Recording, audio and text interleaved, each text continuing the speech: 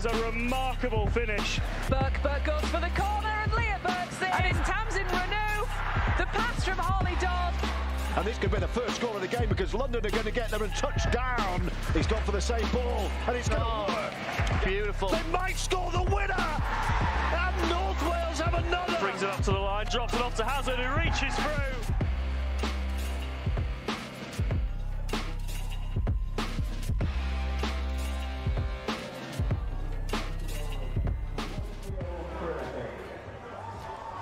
Well, a good afternoon and welcome to the Sportsman for a Betfred Challenge Cup cracker. We're at the Millennium Stadium in Featherstone. Featherstone Rovers versus Wakefield Trinity, a local derby. Two neighbours, of course, but they haven't met each other since 1998 in a competitive game. Alongside me to bring you this one, a man who's been grinning like a Cheshire cat all day after Friday night. It is Salford Red Devils head coach Paul Rowley.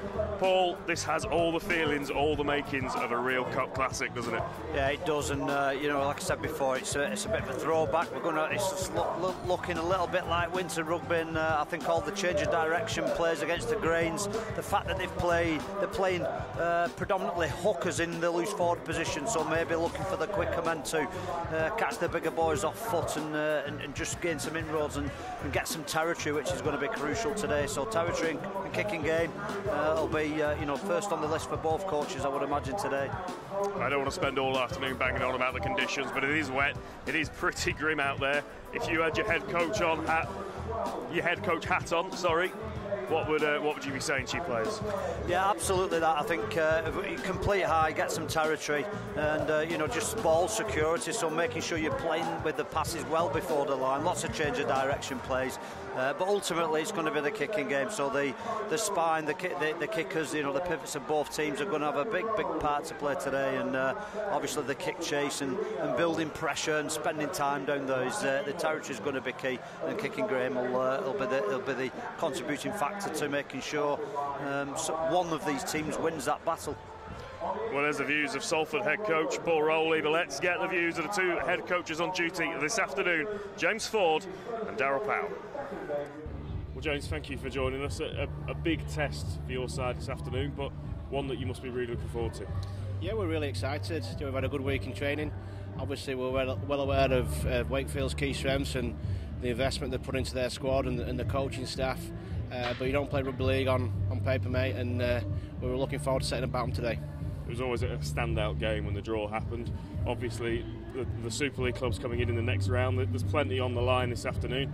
You, it can't be difficult firing your players up today. No, well, we've not thought about anything other than today. You know, Wakefield deserve that. They're, they're, a quality team, as we've already alluded to, uh, and we're just ready for the challenge. You know, we're looking forward to it, we're excited by it.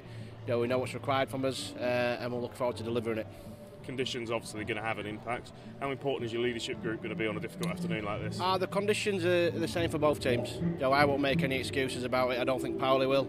Uh, we've had a we've had a chat technically about and tactically about some of the things you, that you might adjust in, in, conditions like this, but we've got our plan, mate, and ultimately it's about our, our effort areas today. You know, you know, kick chase, kick as hard, kick, kick long, chase hard.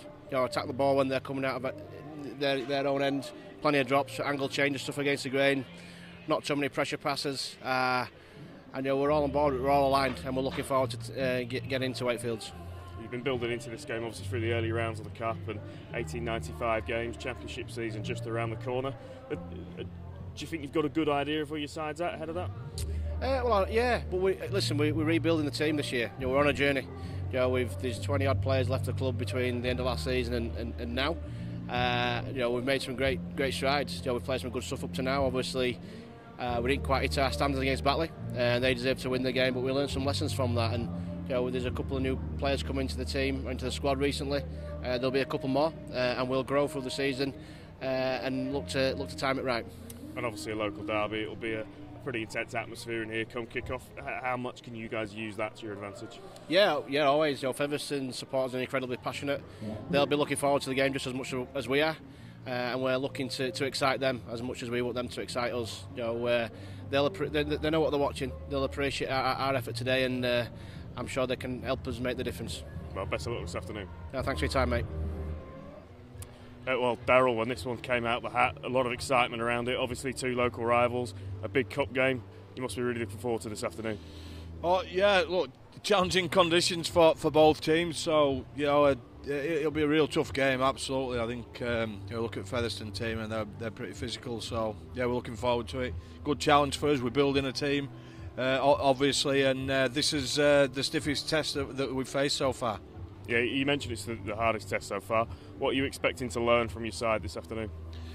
Oh, just just where we're at in you know in terms of durability and, and, and toughness. Because this is going to be a really tough game of rugby league today, and um, how we manage a, a, game. You know, we we learned some lessons I think from last week, and and yeah, we just want to improve each week. But obviously, it's knockout rugby league, so you know we want to win the game, and that's ultimately that's what it's all about. Uh, conditions are what they are. It's obviously going to be a wet one, a sticky one underfoot.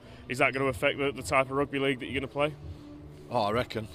yeah, you know, you, playing the conditions is uh, is really important, and um, is what it is. You know, we've it's been pretty good all week, hasn't it? But you, you get what you get, and um, you know, we just got to manage them well. We've we've got two smart halfbacks out there, and you know, I like our pack, and uh, we've got to, you know, they've got to do the do the job. Obviously, the outside backs they'll have to do it tough as well, and, and we've just got to do what we need to do to win the game. So uh, I don't think you're going to be seeing the ball going from one side of the field to the other today.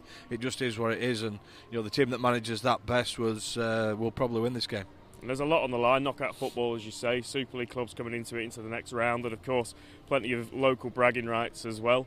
How do you kind of combat as an away side coming into an environment uh, against a team and a crowd that's going to be incredibly fired up? Oh, don't worry about that too much. You know, I'm, i remember from my times playing that once you get out there, you uh, you just crack on with the job. You don't really hear too much going on around you. It's just focused on what you're doing, and you know I expect, expect that from the boys today is to do the jobs and, um, and, and grow as a team. I think that's what the early part of this season is about. You know, Challenge Cup. I don't know. We seem to have been in it uh, forever at the moment, and um, you know we uh, we've just got to do our job. Well, best of luck this afternoon. Thank you. So James Ford and Daryl Powell ready for battle in this local derby this afternoon. Let's run you through the team sheets. The rain continues to come down here at Featherstone Rovers, the home side, lining up as follows with Caleb Aekins in at fullback. We've got Manoa Wacokecoke and Gareth Gale, second highest try scorer in the Championship last season on the wings. Josh Hardcastle and Connor Wynne make up the centres for the home side. Danny Addy and Thomas Lacans in the halves. And in the forward pack for Featherstone this afternoon, Gadwin Springer, Connor Jones and Jack Bussey make up the front row.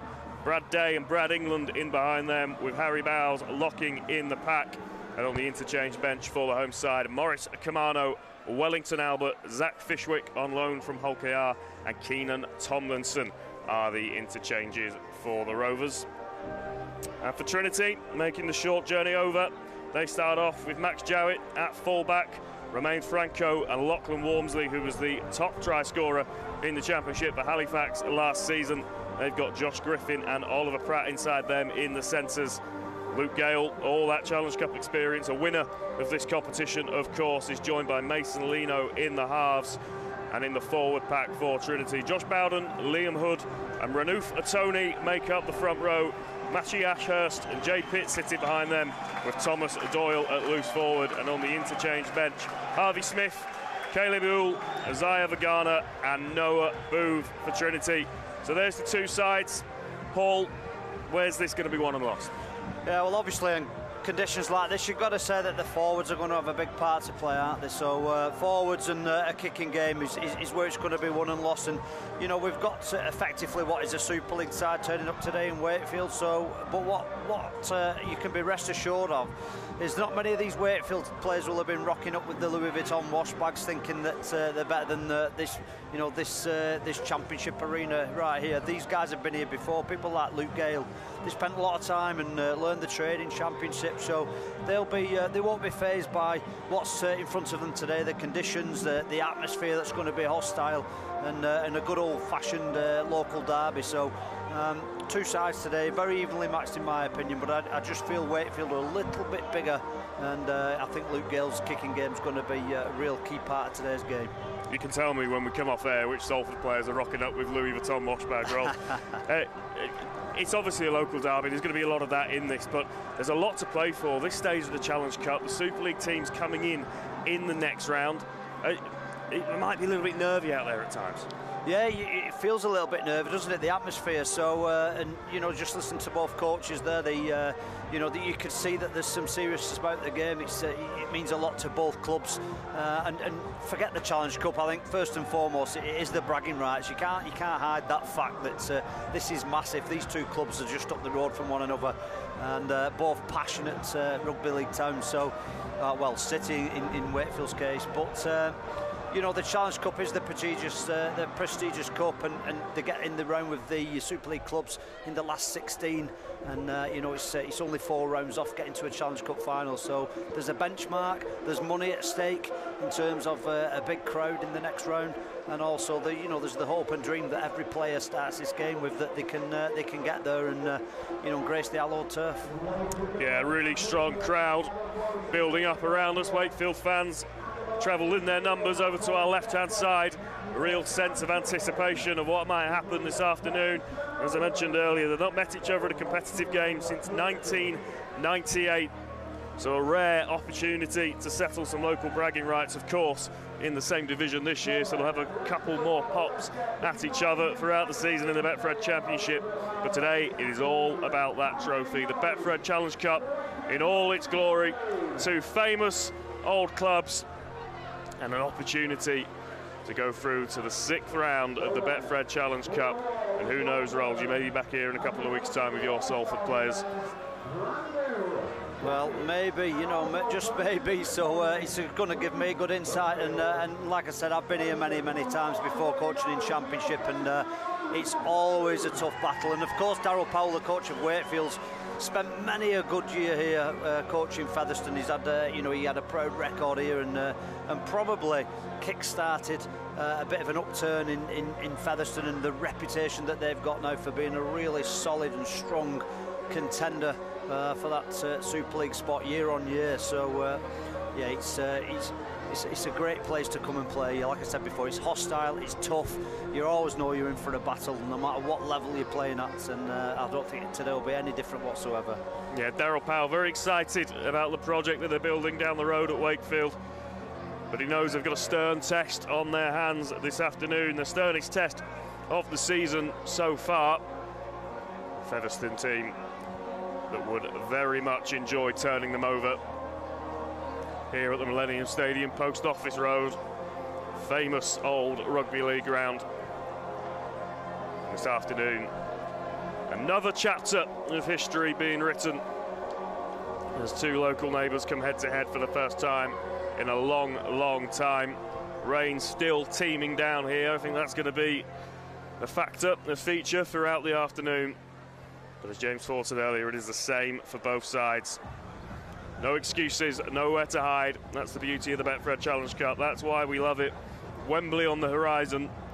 But where else would you rather be than watching this on the Sportsman this afternoon? Soon as these two teams came out of the bag in that draw, a real sense of anticipation and excitement for this game. Let's see if it lives up to the billing. Two teams just lining up in the tunnel, ready to come out. And Paul, what would the nerves be like for those teams at the moment lining up? Um, well, there's a lot of players who've been here before, haven't there? So I think they'll be pretty chilled. They'll be pumped about it. They'll be looking forward to just finally getting this season up and running. You know, they've been playing about with the uh, the early rounds of, the, of other competitions and uh, not quite uh, feel that they're, they're, up and in the swing of things. But this is definitely kick-starting their season right here today. So there's some real intriguing uh, individual battles as well, isn't there? With Lachlan Walmsley and Luke, uh, Gareth Gale, Luke Gale, and then Danny Addy on the other side as well, who's been around and he's a fantastic rugby player. So he'll be challenged. He'll be excited about today as well. So here come the two sides. Wakefield Trinity out first. Behind them, the home side, Featherstone Rovers, led out by Danny Addy. Man, you know very well, of course, Rolls. A few, yeah. few of your former charges out there this afternoon. Yeah, he's fantastic, Danny Addy. He's a real, um, he's, a, he's a real rugby player. They've put him in at half back today. He's a loose forward by trade. He can play at nine. He can play at back row. He can play at prop he's a fantastic rugby player, you know, and this guy doesn't matter what, what where he's playing, what field he's playing at, he's, uh, he, he's a good rugby player, he's got a good knowledge, and he's a competitor, so um, he, he's going to he's going to uh, he's going to relish the challenge today of coming up against someone uh, with such a good reputation and, uh, and standing in the game in Luke Gale. So yeah, it's just one of many intriguing battles. Yeah, Luke Gale, so much experience, of course. A winner of this competition with Leeds, scored that drop goal in the final. Now looking for more history this afternoon. Before the game, we are going to have a minute's applause in memory of Wakefield fan Tyler Wilson, who very sadly lost his life at just the age of 17 recently. Our thoughts, of course, go out to his family and friends. We'll have a minute's applause before the game.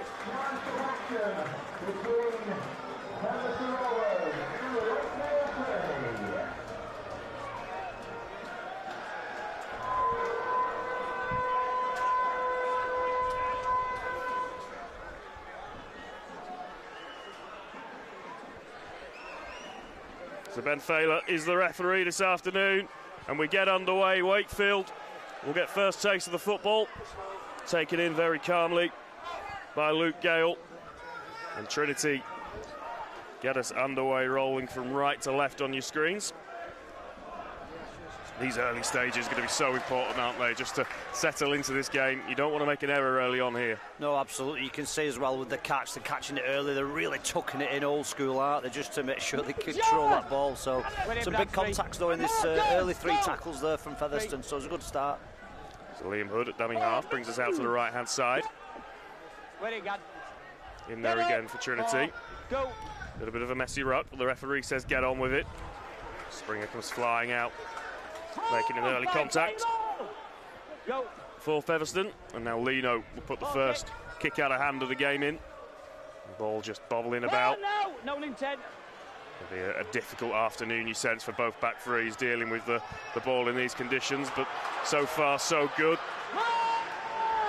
Wakefield's kick pressure very strong. Josh Bowden in the tackle there. And Wakefield will start this set 20 metres inside their own half. Again, Bowden in the tackle, really strong. First contact. Ready, please. Ready, Matt. Ready, Matt. Ready. Go. Those metres up the middle are going to be so important this afternoon as Springer brings it in. He's met well by a number of Wakefield defenders. Tom Doyle loose forward in there. And Tony Renouf as well. Now Featherstone bring it out to this near side. Move. Stand square. This is the last, so they'll be kicking from just inside their own half. It, Goes out, there's a lot of pressure on the kick. Walmsley fields it. Not a huge amount of territory made there. And Wakefield showing some early signs that they're going to try and play, even in these conditions. Kick coming. Jonesy, ready. Yeah, I think uh, it's great kick pressure, wasn't it, from Matoni there? I think you, what you can't underestimate is that on this field, the, uh, the the amount of slope that there is and how tough a challenge Wakefield have got in this first half. The kick pressure becomes really important to, uh, we spoke about kicking game, to just enable them to. Oh, there's a referee Time on, just blowing up, three. not sure what for.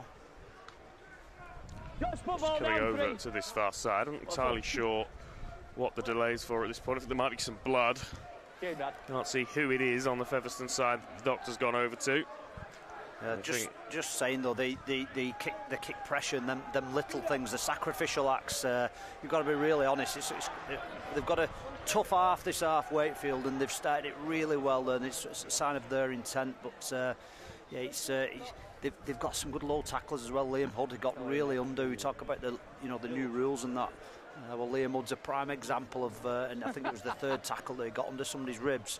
And uh, it's, a, it's, it's a great start for him. So great contact both sides. Josh Griffin. Brad tackle England just getting some attention, getting bandaged up. Josh, wait there. The, the delay. And uh, Wakefield All right, will start with the ball Wait there, just boys, inside the go. Featherstone half. We've got a local ref, Ben Thaler as well. Everything's got a local flavour. There's the contact. There's the tackle.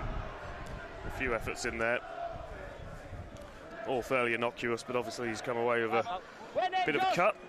Bandaged up, back up and running. So Josh Griffin will play the ball and we get back underway. Hood brings it out.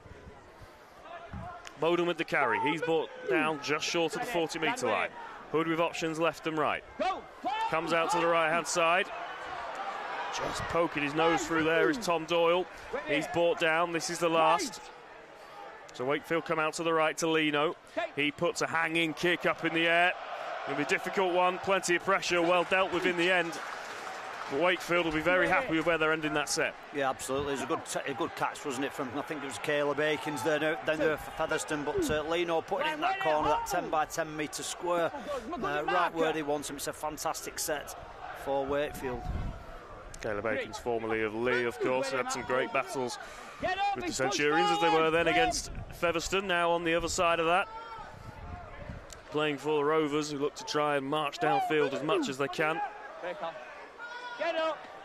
And again, just a slightly disjointed ruck, but Thaler tells them to get on with it. Addy drops it back on the inside to Springer. He's brought down on the 40 metre mark, and already that's the last. Wakefield will be pleased with that defensive effort. We come out to the right hand side, the kick goes up. Walmsley again underneath it, takes it cleanly. Brings it back, where he's met by Hardcastle and? England in the tackle as well. Wakefield just looking to get themselves on top in this arm wrestle. Oliver Pratt bringing it in.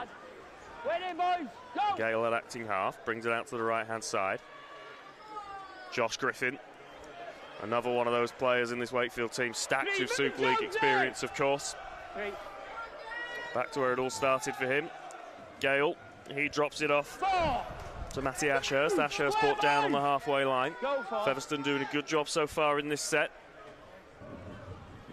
Lino Five, move that just way. keeping it in those tram lines for the time being. This is the last, so they'll kick from just inside the Featherstone half again. Get up, get Lino up. puts another high one up for Aekins to deal with. Again, the kick pressure's good, but he's done well, the fullback. One. Featherstone Okay, will be pleased with the way that they've seen out some of these sets. Yeah, they will. They will. It was a really conservative set for for Wakefield. Though they finished every play there with a, a play against the grain. I think it was Griffin first, Asher second, and, and like I said before, they're just worrying about completion and territory. But uh, Featherstone, uh, well, it is the arm wrestle, isn't it? It is the, uh, the, the the arm wrestle that we always talk about. There's not a lot going on, just uh, relying and waiting for that first error, trying to force an error through uh, Frosty in defence both teams. So, uh, but you do feel that Featherstone are creeping their way into some better territory now as they go down the short side. Yeah, quick short side play, that's a good carry for some extra metres made. This is the last, but it's probably the furthest forward that they'll have kicked from so far. This one goes up. Down the middle, Max Jowett underneath it. That's to just reposition himself a little bit, but he does does well to bring it in safely. And this is the furthest back that we've seen Wakefield start a set pretty much since kickoff. Yeah, really two good sets from Featherstone with the ball. I thought we saw Danny Addy and uh, Jack Bussey in particular have two good involvements in the previous set, uh, and then that short side play there. I think what we'll see from Springer comes shot. flying in on Walmsley. all we'll see from uh, from Featherstone is they'll target uh, Luke Gale and target Luke, uh, Le- Mason Lino. They'll really try and put some pressure on the, the third defenders in from Featherstone. See them as as, as, uh, as softer spots to go at rather than go up the big Trinity uh, middle units. So Wakefield come on the short side. Ashurst on that occasion brought down. Gale will look to put the kick in. Gets it in between the fullback and the winger, so just turns them round, but in the end taken in by Gareth Gale, I think it is, on that far side. And a penalty, the first of the match, so uh, an opportunity for Featherstone to get the first real field position of the game. Yeah, it's huge, isn't it? The one thing I've not mentioned is the discipline, and that you know, there's the first penalty of the game. So for that, also important field position we've spoke about. Well, this is like you say, Featherstone's first crack now. They're starting to set in the Wakefield half, and uh, yeah, they'll be looking to get, uh, you know, at worst a repeat here and build some pressure and take some energy out of these Wakefield legs. Yeah, Josh Griffin just unable to make the first contact stick and then riding high with the second attempt in the tackle. So a penalty for Featherstone, an opportunity as Aekins brings them out. Aekins brings them out to the left-hand side. There's that Yeah, short side again, straight Just at, short. yeah, straight straight at Lino, uh, looking to make him do, do some work there. They bring it up the middle. Kamano on the field. He's brought down Where they leave, dead centre, about 35 metres out. So they come out to the right-hand side with Addy. He brings it out the back and then just a little inside line from England. Brings it up to the 30. Just some space is starting to appear maybe. Again, dead centre. where they- Wait, go. And they come over to the left. And now bring it right up to the line. He's Aekins. Just pokes his nose through, but in the end, Lino able to bring him down. This is the last, but the first attacking kick position for either side. It's a real messy Ruck and messy pass from Danny half. It stabbed through, and in the end, a wasted opportunity for Featherstone. Yeah, it was unlucky. There's a bit more uh, urgency with the Featherstone team, though, it has actually turned out to be a decent looking kick, but was uh, a little bit uh, reactive on it. He has followed through there, Connor Jones, totally accidental, but uh, is, it, is it Max Jowett? Yeah, it's Jowett that's just in a little bit of bother down there. It's like a bit twisted his ankle. Doesn't look too comfortable, does he? That'd be a huge loss for, Wait there, boys. for Wakefield's a fantastic player. He's back up on his feet, Jowett. Another one with loads of experience, just trying to run there. that off. Again, we've seen uh, Lino Back on. make, coming up with two or three is zero. tackles in that set, so I think they've set the. Oh, there's a penalty. Walmsley bringing it in off the tap. We'll get the penalty. Yeah, it's a tough one. The Featherstone players will claim he slipped, which he did. However, um, I think we're all clear on the responsibilities with the def- defender to protect the uh, his opponent's head at all times. So So Gale sticks the uh, penalty right up near us in the gantry. I know you did, but it's still cutting down there. That's why it's just a Wakefield penalty. will start with the ball. Yeah, there's the penalty as they just come over the top. It's England. Lachlan going to ground, but England, as you've said, we all know the rules, just falling foul of that. So Wakefield with the ball just inside the Featherstone half. Springer again. He's already made another a number of strong contacts, hasn't he? Looking to assert some dominance in the middle. Lino just drops it off, and Wakefield 30 metres away. Keeping it very central as they have done. 10 to 2 so far in this game, but now Gale looks to bring it out to the left. Jowett does work to get the ball away. And Oliver Pratt still going. Eventually, they do bring him down. Still some extra metres, still in the tackle. So, this is the first opportunity that Wakefield have had to put the Featherstone line under any kind of pressure. Gale brings it up to the line, long looping ball out. Goes behind Walmsley, who has to go back and clean it up. He's brought down without any extra yards made, so this is the last. Gale puts the kick in, keeps it left, puts it high. It's too long. Featherstone survive, and it'll be a 20 metre tap. Yeah, just off with his detail, wasn't it? Luke Gale there, he's, uh, he's, he's tried to get rid of a rush defence, just uh, throwing a, a lot of cut-out pass, but uh, the execution's just not quite there. And then uh, followed that with a, with a sloppy kick, really, giving him a ta- seven tackle set, which and a penalty And to a compound it as well. Gale got his side on the front foot, and then a penalty for his efforts as well. Featherstone again with an opportunity to get themselves downfield. Tap. We use that word arm wrestle so often, Paul, but that is exactly what we're in. Neither team It is. really throwing much of a punch yet so far. Yeah, what- Interesting to see how long that goes on before someone starts to just try and play a little bit in this. Yeah, I think you pointed it out earlier, though. What you can see is a little bit of a softening up of the middle, though, in terms of them, them against the grain players. Just there's some fractures, some triangles creating in and around them middle, just to allow players to pop their head through that space. Here's another. There's Springer. Exactly as you say, Paul, on that inside line, just finding the gap from Addy. Now they come out to the right. And there could be some space here. Hardcastle brings it back on the inside. Perhaps there was some space for Four. Wacokecoke on the right. But Addy has it in his hands now and just opening up a little bit. There's that Lino again, playing his lead ball every time. They've not bothered with the back man. And they go short side again. The kick is stabbed through. It's there to be dealt with. Romain Franco does a good job in the end. But a goal line dropout. Featherstone will be very encouraged by the last few minutes of this game. Yeah, absolutely. And, and, and just just to point out, I think I think what they're trying to create, they're playing the lead ball on Lino every time. What that'll do is it, it'll, it'll start dragging two man in. Josh Griffin, who maybe feel he needs to defend a little bit tighter to him to look after him a little bit. Then they'll play out the back. So um, yeah, they're setting the traps out the early Featherstone, and they're playing the long game.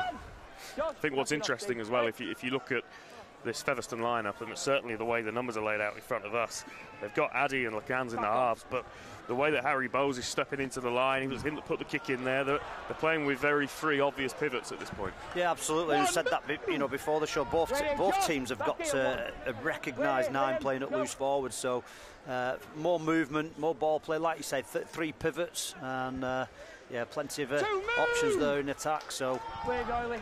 Two. Go.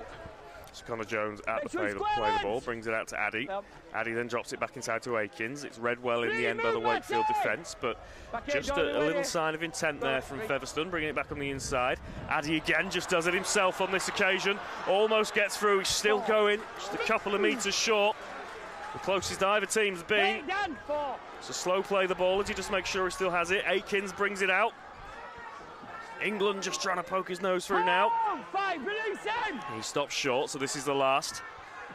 It's a sloppy pass, but the ball goes through from Lacans. And again, it's a repeat set. And Featherstone just building the pressure nicely here. Yeah, that's a, good- it's a really good set from Featherstone, really patient.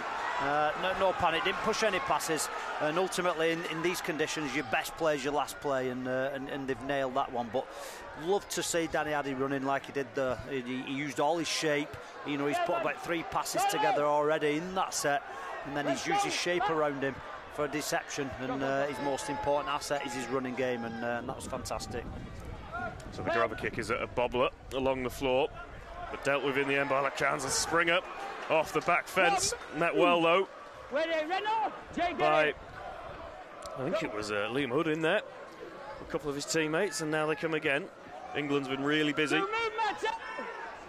On this right hand side. He's brought short, brought down on the 20 metre line. Come out to the left. Here's Addy again, bringing it up to the line. This time he passes. Three. Brad Day brought down 15 metres away. Come out to the right. Addy drops it off to Springer, who's left the ball on the ground. So Wakefield survive. A missed opportunity for Featherstone. And for. Wakefield, a bit of a slap on the back as they survive that period of pressure. Yeah, it's good defence, isn't it? It's, uh, and, and we spoke before, just the, the ball security and the completion, so they'll be disappointed with that. Uh, Danny Addy's running amok a little bit at the minute, last three or four sets, he's been really good. Uh, but Springer there just not being able to control the ball, and it's a bit of a let off for uh, for Wakefield there, and uh, and they will put that under the category that's great line defence. They, were- they look solid, they look connected, so the arm wrestle continues, and uh, no quarter given as to yet. And that was exactly as you called it earlier. Liam Hood with the low tackle, getting him right in the ribs, falls in the knock on. As Griffin brings it out for Wakefield. We've mentioned that slope. Will be playing a factor for teams coming out of yardage over on this right hand side. I want you quicker. Lino at acting half. Featherstone's line speed good at the moment. Ready, two. Go. Hood brings us out to the left hand side. Just keep it in hand. More strong defence going in. Already been some big collisions, haven't there, Ross? It's Connor Jones, isn't it? He's, uh, it's the hookers on both sides. Just Bro. oh dear. Originally a repeat set. In the end, Thaler decides that it's enough for the penalty. Messing around at the ruck. I think he's, he's in the fourth. I think I think Ben Thaler didn't realise at the first instance and give the, the restart. But it's in the 40, so uh, it's a full penalty now. He's just let himself down there, Connor. He's got uh, he's done a great contact, hasn't he, under the ball, like we said. And in fact, I would say both teams have started off really good defensively, really disciplined, and uh, like I said, the levels have been very low, very good. That's Jay Pitts taking that carry. Ready, Gadwin. Go. It's square. Wakefield. First time we've been looking over to our left for a while in this game. Two. Bowden making some good meters there, and now they come to the right. Lino brings it up to the line. I think he was caught in two minds about whether to pass or keep it in hand. And what he did in the end was come up with an error. Yeah, it's good inside pressure from Featherstone. They got lot, they got uh, they got stuck with a man on the floor. Strong carry from Bowden. He's left a bit of chaos there, hasn't he? And uh, and it was Liam Mudd who, who took the opportunity to get on the front foot and, and, and played Lino in. Uh, he's took too long with the ball. It's great inside pressure there from Featherstone just to force the error. One. Wolfev getting on with it. Immediately making some good inroads up towards the halfway line. Go. Gale coming off his wing to make that carry. Such a big physical asset, isn't he, out on that edge? Go. Two. Play on. Give me So many tries to his name in the last few seasons, of course. Three. Featherstone, Wait. Stand square. 10 metres inside the Go, Wakefield three. half. Jones brings us out to the left. It's flicked back inside. Four. Wakefield's defence not too bothered by that at the moment. Addy now. brings it up to the line and brings it out the back. Lacans drops it off to England. He's looking for a gap on that reverse line again. Dealt with by the Wakefield defence for the time being. This is the last. We come over to the left. Kick stabbed through. Now this is dangerous. Just dealt with in the end, but I think it's going to be a repeat set yet. A goal line dropout and a, a really clever end of set kick from Harry Bowes. Yeah, it, was, it, needed, it needed cleaning up as well, didn't it? It wasn't running out, so uh, he's done well to deal with it. But uh, again, a great set. Three plays, they went back up the middle. They really spotted in and around Liam Hood there. So they've got the clear spots up on the edges. Gale, Lino, they've got Hood in the middle. Uh, as just a round of applause. This, I think it's on the 17 minute mark. Yeah. Uh, for the for Tyler the, Wilson, yes. Wakefield fan who recently passed away at just 17 years old. Brilliant to see supporters from both sides applauding here.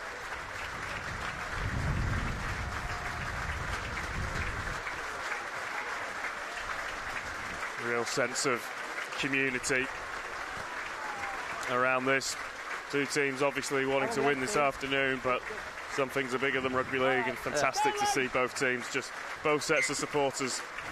Well, both teams paused as well, didn't they? I think the referee Ben Phil as well just allowed for that that Yeah. moment to pass, and that's great. Lovely to see. Back underway. Featherstone come up with an error. It's Liam Hood again. Wakefield maybe just looking to stretch it here whilst they can. And there's a penalty for the Troubles as well.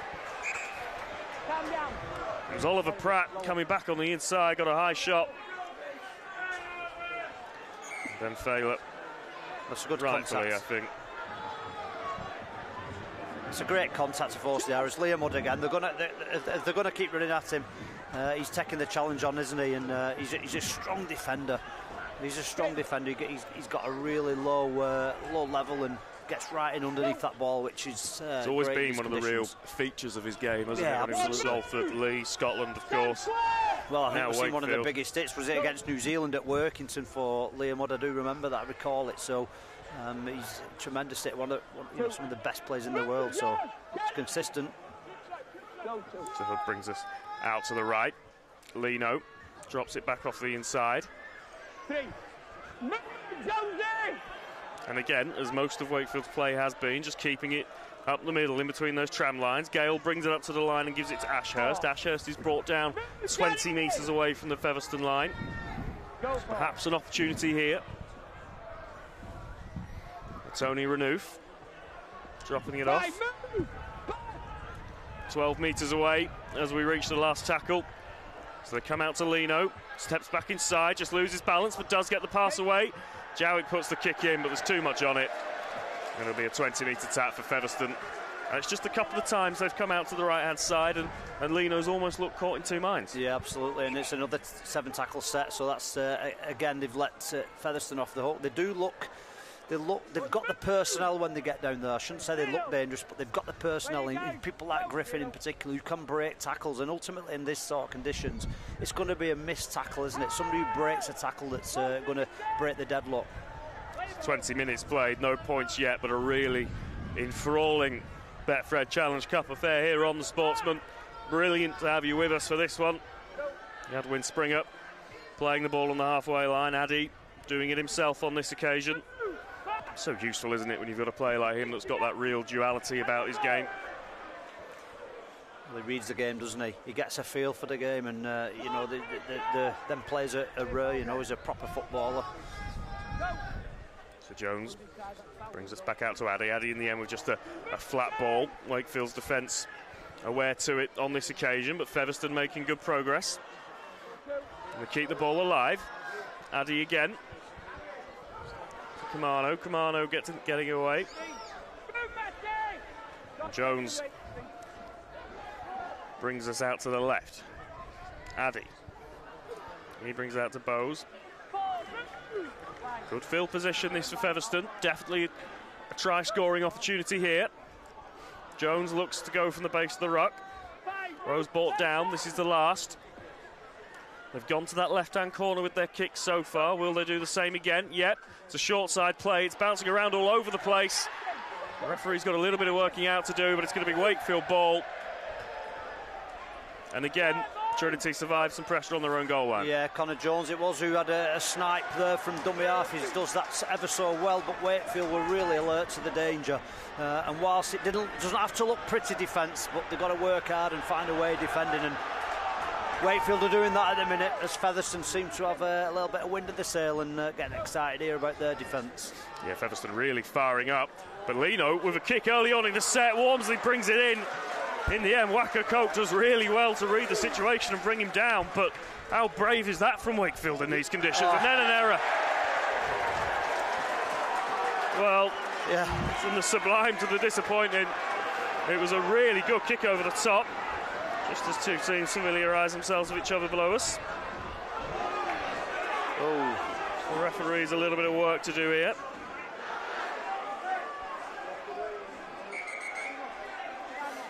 yeah. In the middle of that, two Scotland teammates, Walmsley and Addy, just having a little cuddle. Then Thaler settles it all down. So we'll see what comes from this. But that kick over the top from Lino early on in the set, obviously a planned move. Walmsley read it brilliantly, but in the end, Wacokecoke's done really well as well. Yeah, like you say, it was, it was a brave play and it looked ever so dangerous and, uh, you know, was just probably getting ready to applaud such an audacious play, but uh, Wacokecoke did fantastic to stick hold of him, didn't he? And, uh, you know, it ultimately what seemed positive turns into a negative. Let's just see what Ben Thaler makes of this. Red! Go in. Right, I've got it with their man running in, but then you'll come flying in as well. And in my opinion, with no you've stuck out. You're going to be 10 as well. So, There we have away it. captains come in. England in the bin as well. We'll be playing 12 aside for 10 play. minutes. Now, Red up in a scrum. I've had a a word word coming in and grabbing all the Both players. captains. No need there. Right, the man's coming straight away. There's always gonna their be a man. feistiness to this game. against you guys. Two local not rivals, so much on the line, of course. I do not need all the lads piling in. So far, You need to have a word with Up until that point, you've you've got the mentioned that the discipline from both teams have been pretty good, Paul. Yeah, Just absolutely. boils over for the first time there, and it's going to be a Featherstone penalty. Yeah, I'm, I'm, I'm just listening here. I'm not sure which which coach is near me, but I can hear them shouting, "Stay on the middle, stay on the middle." So uh, I think probably got sim- similar game plans, uh, but uh, the, you know it might be the benches underneath. So uh, they definitely want to keep changing direction plays and tiring out this middle. So uh, I think it's the Feniston bench. So I think we'll see a, a lot more lead balls, like I said, on Lino and uh, against the grain plays, just to see if they can creep over. It's Danny. Addy, who's his shape here. I can see a run coming. putting the penalty into this near side corner. So Featherstone starting off with the ball 10 metres out. It is Addy who takes it. He gives it to Kamano, who's brought down eight metres away from the try line. Real opportunity for Featherstone here, playing 12 aside, of course. Two players in the sin bin after that coming together. It's a slow play the ball. So Wakefield have their defensive line set. They go for that skinny side. Jones just trying to worm his way through. Wakefield's defence do well though and bring him over the line. So they'll go 10 metres back out again. So far, it is Featherstone who have had the best of the play in terms of attacking positions. No points for it so far, but could this be the set? Springer brings it in. Met really well. There's Ivor Garner on the field for Wakefield, I think.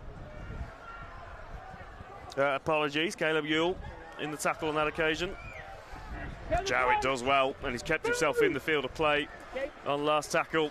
So Featherstone, yet again, survived some pressure on their own goal line. Yeah, that's brilliant, isn't it, from Jowett? He's really saved his team there, having to uh, drop out and, f- and defend another set. Uh, although they, these are tough carries, aren't they? Yeah, they look really Tough fired up, don't they? Yeah. Featherstone looking to pin Wakefield in, and this is the, the sort of situation a few minutes before where we saw Wakefield go for that kick over the top. I'd be amazed if they did it two sets in a row, but you never know. Griffin just doing the hard stuff. Interesting, Josh Griffin. Obviously, we know him as a centre, but wearing that back row number. So obviously, a little bit like your own Kallum Watkins, Paul. Yeah, someone who's been asked to do both. Yeah, there's not much difference in the, in the you know, in positionally defensive wise. I mean, the decisions you have to make, but uh, yeah, as- I guess as the speed goes out of his legs and uh, he can work his way in, it's uh, the subtleties that a centre provides. It's a great addition when you when you can play them, and they've got the toughness to to step into the back row. But Wellington Albert, next Leeds man, of course, on the field now for Featherstone. Sparkling white jersey. I'm sure it's not going to stay like that very long. And Zach Fishwick joining him as well. Product of Hull I know there's a lot of people excited about what he may bring. He makes the first carry. He's met really well. Josh Bowden making the tackle there. They're all just a little bit disjointed on that left-hand side. Featherstone keep hold of it. This is the last tackle. I think we're just going to take a moment here. They got, No. they got tangled up in each other's boots, Yeah, so back up and running. Up goes the kick from Lacans, a real testing one, but dealt with well by Jowett in the end. They just lost the way a bit, Featherstone, though, in that attacking setting. They didn't really ask any questions. And a Oh, penalty for offside. Yeah, so Just feels like they've drifted away from the game plan a little bit, doesn't Yeah. it, since that, since those two yellow cards. Yeah, they lost the way, didn't they? I think, uh, like as we heard, stay up the middle, stay up the middle, but it became a one-dimensional and uh, one-out carries. I think, I think were, what they was doing was uh, perfectly right, uh, playing with shape, asking a lot of questions. Um, but uh, yeah, they just allowed Wakefield to, to get back in. But as I said before, it's a tough challenge for Wakefield this half. They'll get their day in the sun, so to speak, in that second half. So this is all about weathering the storm and, uh, and getting the joy back in. They're going to have to win this, take it to the 80 minutes, either team. Jay Pitts with the first carry.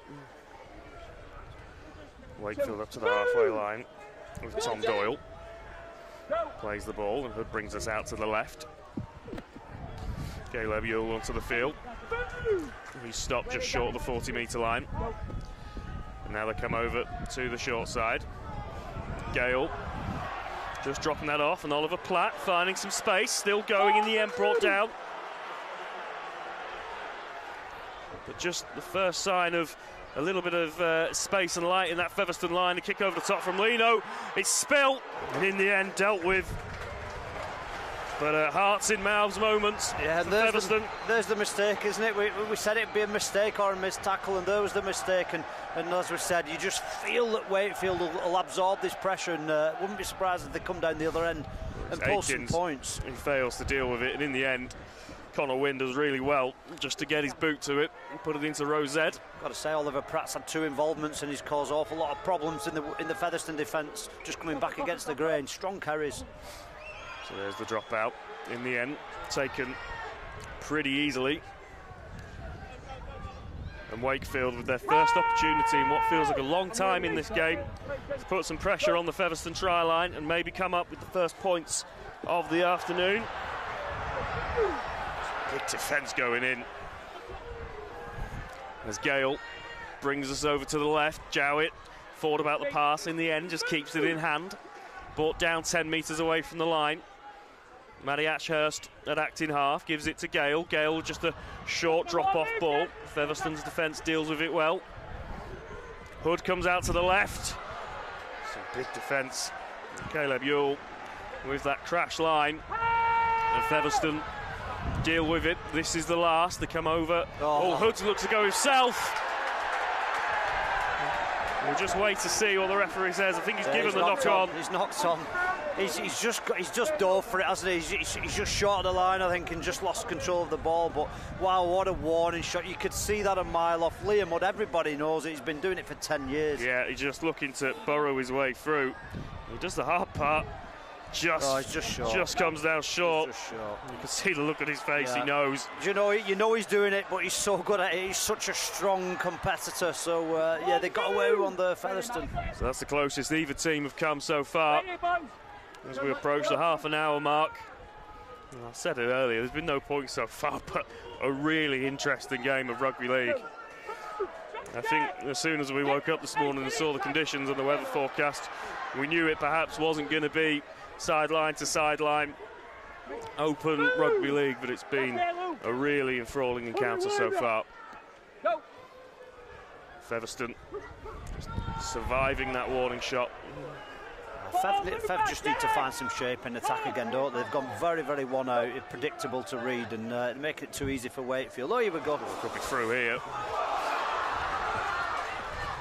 Yeah, Wakefield deal with it, but there's a penalty. It's Thomas Lacans who darts his way through. Got some uh, unwanted attention. The high shot goes in. Yeah. Well, this Thaler again. this this some work to do. interesting. This replay will be interesting. Just gets the better of the defence. Here he comes. Uh, you see nothing on that replay. There's nothing in that, on that replay. Everybody running in.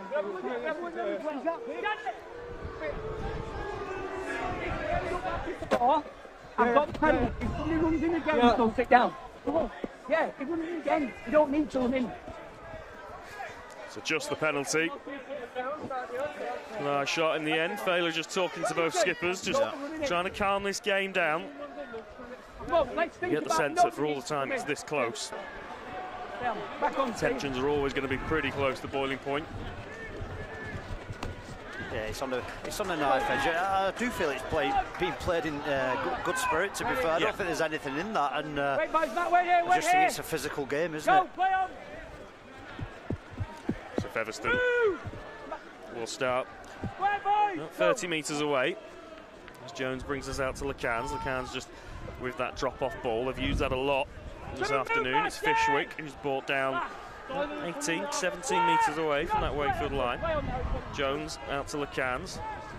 He brings it out to the left hand side. Aekins coming into the line. Gale brought down over on the left. Here's Addy. In hand again. Doesn't make a huge amount of progress, so Featherstone bring it to the right. Wellington Albert. He does make some inroads. Still going and gets the offload away. And an opportunity here. Jones fought about the pass, went himself, brought down four metres short. This is the last. They favoured this left hand side every time so far. They come over again. I think they're going to keep the ball in hand. And they're in in the corner. And the referee just has a chat with his linesman and he gives the try. And Featherstone strike first after all of that arm wrestle. Connor Wynne, I think it is, who's gone over on that left hand side. Featherstone Rovers strike first, Paul. Yeah, absolutely. And uh, I thought they'd missed a chance when the offload came. Nobody reacted to Connor Jones, but uh, as I said earlier, you see Josh Griffin. He's just getting a little bit close to Lino. I said they'd go off the back. They set the trap. Here we go. The leads there. They've gone off the back. Griffin can't make up the ground. He's he's uh, he's lost by getting too tight, and he's just sneaked in there. The ex-Ullman Connor Wynne. Just in that left corner for uh, the opening score, so uh, they probably deserve that. Featherstone, they've had a lot of territory, they've had a lot of possession, and they've dominated the first half. So uh, I, th- I think that's a, a fair reflection of where we're at at the minute uh, with Featherstone just doing a good job there and, uh, and finding their way again because I think they've lost their way for the last five minutes. Became a bit one out, fell back into shape, playing off Danny Addy, playing off uh, offloads, and, uh, and get the reward really. As the, the wind, I can tell you now, is really picking up. I'm not quite sure which direction it's blowing in, but All of them, I think. yeah. It's testing, that's what I'll say. It's testing conditions, so it's a credit to both because we've got a pretty high quality game going on here uh, in some horrendous conditions. It's not going to make goal kicking very easy at all. It's not bad. It's not a bad effort. It's a fantastic effort from Lacans. So Featherstone go into a six-point lead, and on the balance of play, Paul, you'd say it's maybe just about an accurate Yeah. reflection. I think so. I think Wakefield uh, look, look like they've got the personnel to do damage when they get down there, but they haven't been down there, have they? Uh, again, the, the slope, uh, the pitch has a, has a part to play in that. You'll see that in the second half. Uh, but, uh, you know, they, they know how to do it, they know how to deal with it, and nobody more than Daryl Powell knows how to deal with it. So uh, they'll be disappointed, Wakefield. Wakefield get us back underway, but I thought interesting. They've done it a couple of times as that ball hits the ground in the end, dealt with. But uh, they've interchanged Gareth Gale and Connor Wynne in that centre wing position a couple of times, just changing the point of attack and almost a, a bit of deception, bringing Gale onto the inside uh, and win the man in loads of space. Absolutely, he's a big body, isn't he, Gareth Gale? So, uh, you know, with him there and, and the, the back row is Day running on and around Lino, you know, you want help, don't you? You want to look after your pivots a little bit. So, again, it's the deception. And, uh, and you know, he's, he's, play, he's paid dividends, and like I said before, they're willing to play the long game, and they're going to have to do today. For Wellington Albert takes Three Wakefield defenders in the tackle to bring him down. Jones to Addy. Met well. Okay, Lebiel. This is the last. So kicking from inside their own half. Cans puts the ball up in the air. It's Going to be Jowett that's underneath it. Takes it well and then drops it off to Lachlan Walmsley, trying to find some space, but loses his footing.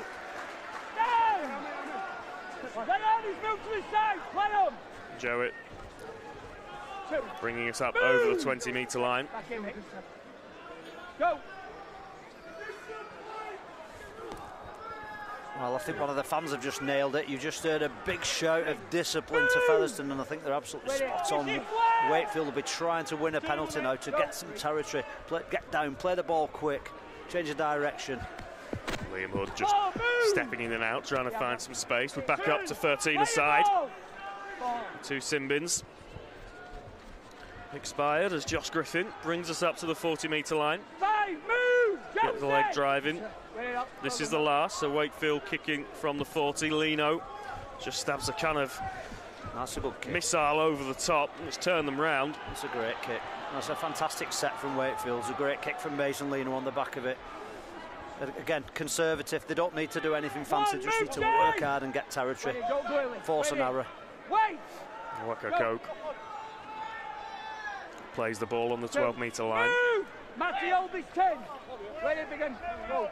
Featherstone deep in their own half, but having made that first inroad of the game, that first try of the Move. Ready, Liam. game, you Wait, think that they'll be Go. very happy to just get themselves back inside the sheds at this stage with that six-point lead intact. Some good meters made over on that left-hand side. Gale again coming in off his wing. Strong carry from Brad Day, I think it is, over on that far side. Getting his team over halfway. This is the last, but Featherstone won't be too displeased with where the kick's going to come from, although it's a, it's a sloppy ball. Gale doing his best with it. Stabs a kick over the top. Jowett deals with it. And Wakefield will start on their own 20 metre line. Yeah, Uh, it wasn't the uh, most aesthetic entrance No. set ball, but not the worst. And then there's an error from Franco. Featherstone have the ball back 17, 18 metres away. And a real opportunity here to strike again before half time. There's the blueprint, isn't it? Whatever you can do, we can do better. The, the return serve, don't they? With hard carries, a, good kick, albeit ugly. Aekins brings us out to the side. Wacokecoke some space. Dealt with in the end. Oliver Pratt just getting across. But a real opportunity as Lacans brings it back into Fishwick. Almost punches his way through the line, but brought down five or six metres short. Jones brings us out to the left to Addy. Addy just dropping it off to Wellington Albert. Just a little bit disjointed and slow on that play, but he gets the offload away again. It's the second time he's caused some problems with that. An opportunity here. Day getting the offload away. Wing could be in in the corner again, and Featherstone get a second. The offload causing chaos and Connor Wynne for the second time in this game finds himself in space, steps back inside, and after a really attritional opening half an hour, Featherstone 10, Wakefield nil. Well, it's Wellington Albert again, is it? With, with, with the offload, he's. Uh, There's the error. Yeah, it's- it's- again, return serve, kick. The kick was ugly, but I said before, didn't I? Force the errors, and uh, there they got the reward. Albert again with the offload. Connor Jones this time.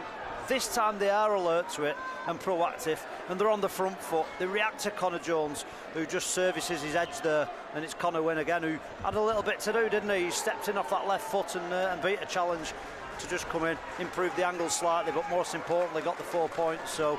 Um, big, big 10 minutes for uh, Featherstone and uh, 10 points in front with what's a terribly difficult kick. But uh, we said that last time and he nailed it, didn't he? So uh, I think we've found out which way the wind's blowing, whichever direction he's kicking this ball from.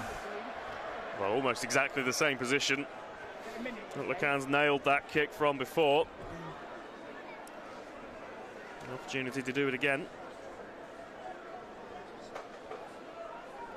If you roll the clock back just five minutes, if you'd have offered either team a 10 point lead at half time, they'd have bitten your hand off. Yeah, absolutely. Featherstone finishing this half really strong. Definitely change what Daryl Powell has to say to his players at the break. It's another good looking kick. Doesn't quite have the legs on this occasion. The line was right. I like how the fans all shout, yeah, yes, try, and calm the linesmen there, but the, they weren't having none of it. So uh, I, it's 10 points, isn't it? They're going to go in 10 points in front at half time. It's not insurmountable. Um, again, uh, not to harp on about it, but it, it's a fair old slope here, and, uh, and, and, we'll see a difference. And, uh, they've got a challenge on their own now, Featherstone, to hold on to this lead and uh, hopefully pull some more points from their point of view. But Wakefield won't be too too disappointed just yet. Aekins does well on that occasion. There was an absolute explosion of noise from underneath us on this gantry and around us from the Featherstone fans as Wynne went over there, and you just get the sense there's a real feeling that every point is going to be so crucial this afternoon. Featherstone came into this game as underdogs, rebuilding was the words that James Ford used. Plenty of reason for encouragement in the first 40 minutes of this game as Jones looks to get himself away. Now they bring it out to the right, and Lacans will just put a kick in, looking to turn Walmsley around. It's a good kick, it's going to find touch. 40-20, is it not? They're asking the question. Ben Fairley's shaking his head. And there's the hooter anyway. So an enthralling first 40 minutes of rugby league. But Featherstone finishing the first half with a flourish. Two tries from Connor Wynne.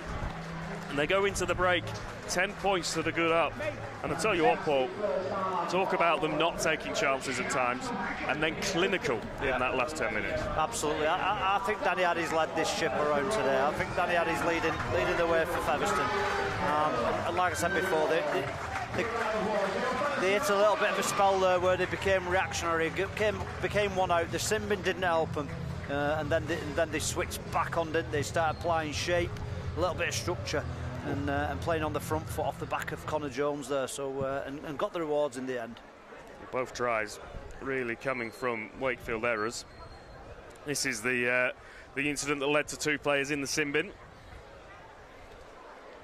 Yeah, I think first time it kind of boiled up yeah. all game, but I think Ben Thaler's done a good job there because he knows what's at stake here, and uh, you know I think sitting two people down early just sends a message to the rest of the team. But uh, both teams that you know he's, he's in control. We, we, we, want a good game here. We don't need any of that nonsense. So I think he's put his marker down early there, Ben. And I don't think he's done any harm That's at Liam all. Hood just coming into short moments before this happened, a real turning point in the game, you sense. Yeah. Aekins bringing the ball into the line and Connor Wynne stuck to that left edge with Gale moving out into the line. It's well worked, isn't it? They've just created the space on the overlap uh, and like you say, Connor Wynne just squeezing in that corner, but that, that's uh, you know that, that's come from all the work they've done earlier in the in the in the game.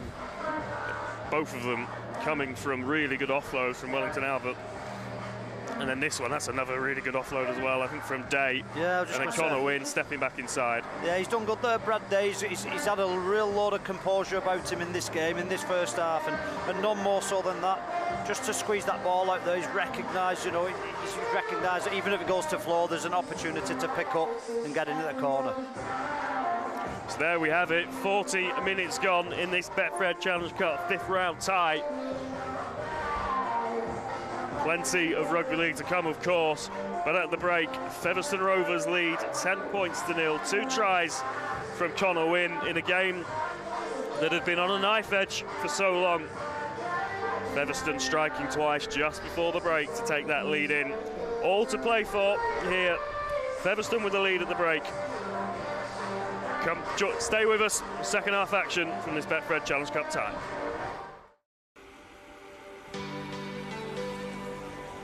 What playing one game of Super League was was a dream come true for me. So to, to play as many as I have now, um, and the universe working in, in mad ways to, to bring me to Salford to, to achieve my best performances, I feel like it's kind of written in the stars a little bit.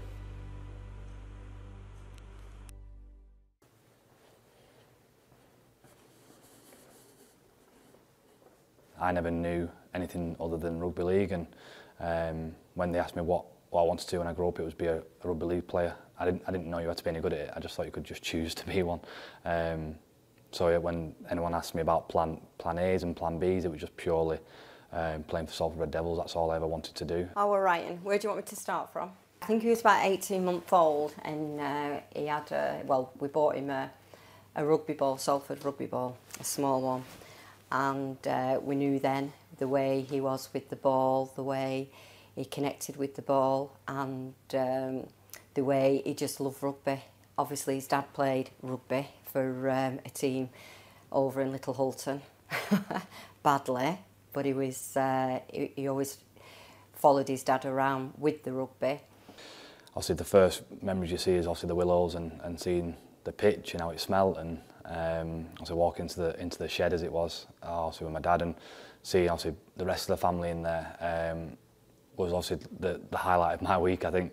Well, he's been on a journey, that's for sure. So, as a rugby player now, um, he's a product of his effort, resilience, determination, and character.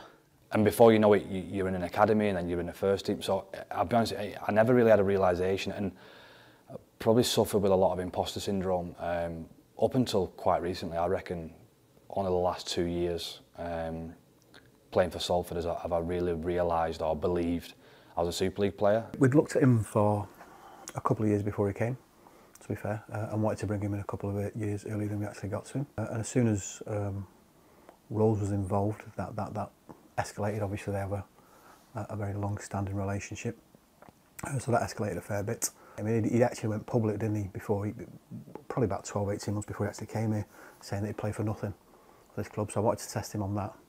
Um, he doesn't, but but um, but yeah, but he, he desperately he made it really clear that he wanted to come here and play for the club. He was obviously on our eye line anyway because I think I think Marwan Koukash was looking to bring him in before that, so knew all about him. And I sort of like kept in contact with him over the years.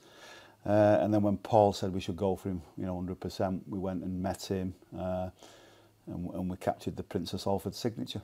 And no matter what now, my dream was to play for Salford. And no matter what happens on and off the field, no one can take that away from me. I did it. Um, I think I've got a, a, obviously a picture back at home, you'd have, you'd have seen it, but um, just a message to my dad saying, Dad, I did it. Um, and that was playing for Salford. It was nothing else. It wasn't about being a professional rugby league player. It was about playing for Salford.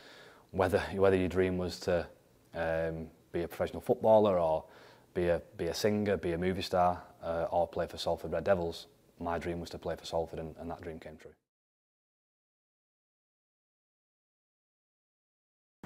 Well, uh, Matt, thank you for joining us. We're stood in what is quite an impressive new stand here at Wakefield. It looks very different to the last time I was here, and obviously you've come in and, and brought some new ownership and new direction to the club.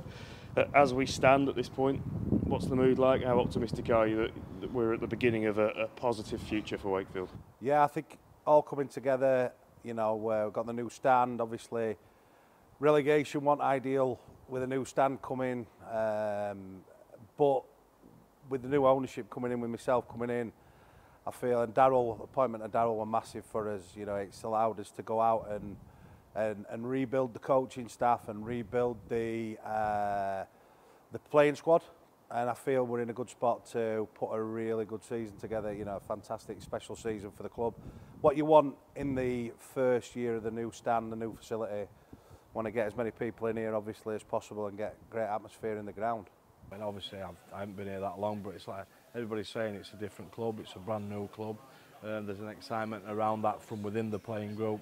You can feel that within the fan base as well. Matt's saying all, all the right things and uh, now it's about us putting it on the grass and, and delivering from a, a performance perspective. Going to be some tough challenges and we know we've got a target on our back but um, yeah, we can't do much about that. We've just got to go and deliver uh, on our standards and, um, and be the very best we can be. We've had a you know, a long time of struggling, a few good years out of the last 20, but, you know, we've never really looked like winning something apart from a couple of semi-final, you know, semi one semi-final to, to my memory. Um, but it's going to be, you know, the aim of this year is simple. It's we get back into Super League, obviously through IMG, but we don't want to just have it as IMG. You know, I've said it before. we want to win the league. You know, we want to win the competition. Uh, we're setting out strong. I didn't want to come in and and and try and be uh, clever with it and go.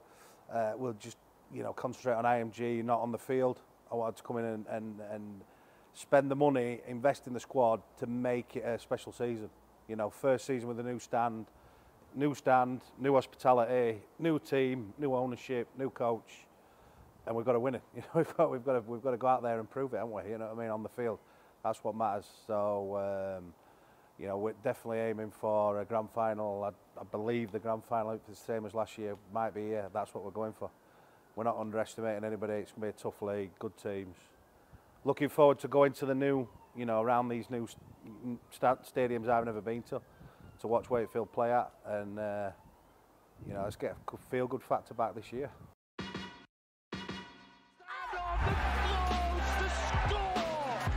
Is a remarkable finish. Burke, Burke goes for the corner and Leah Burke's it. And it's Tamsin Renew. The pass from Holly Dodd. And this could be the first goal of the game because London are going to get there and touch down. He's gone for the same ball and it's going to oh, work. Beautiful. They might score the winner. And North Wales have another. Brings it up to the line, drops it off to Hazard who reaches through.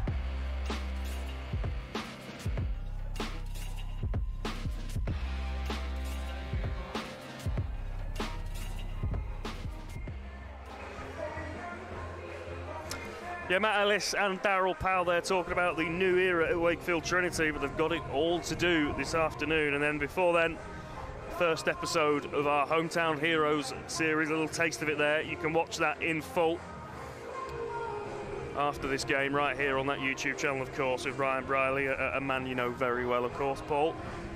But turning our attentions back to the action here, half time, and a scoreline that I don't think too many people would have predicted before this game.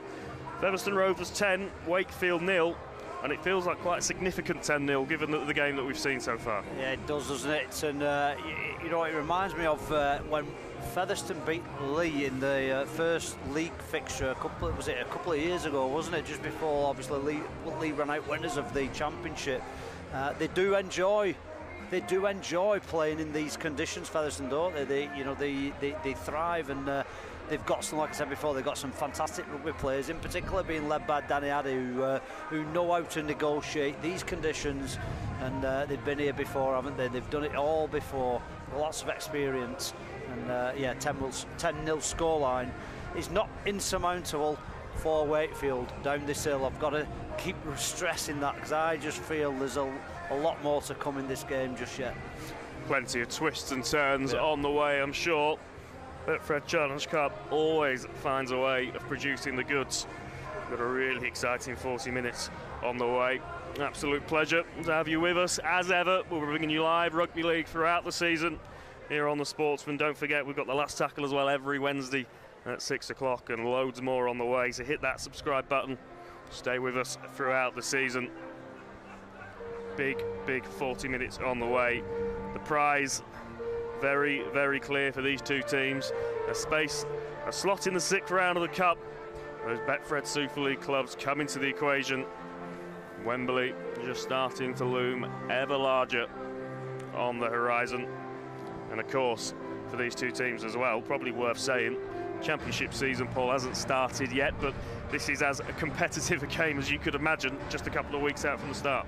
Yeah, it's a, it's a great way to start, isn't it, for them? And, uh, and and I guess both clubs would, you know, what gives them a good yardstick and what they're going to face in the in the, in the coming weeks. So uh, again, they're, they're, fighting for the, the lives now to to survive and kick on into this Challenge Cup next round. But uh, yeah, there's a bigger picture ahead for both clubs as a long championship season awaits with a, a you know fantastic prize at the end of it if they was to, to, to win the uh, you know the big prize and get up into Super League.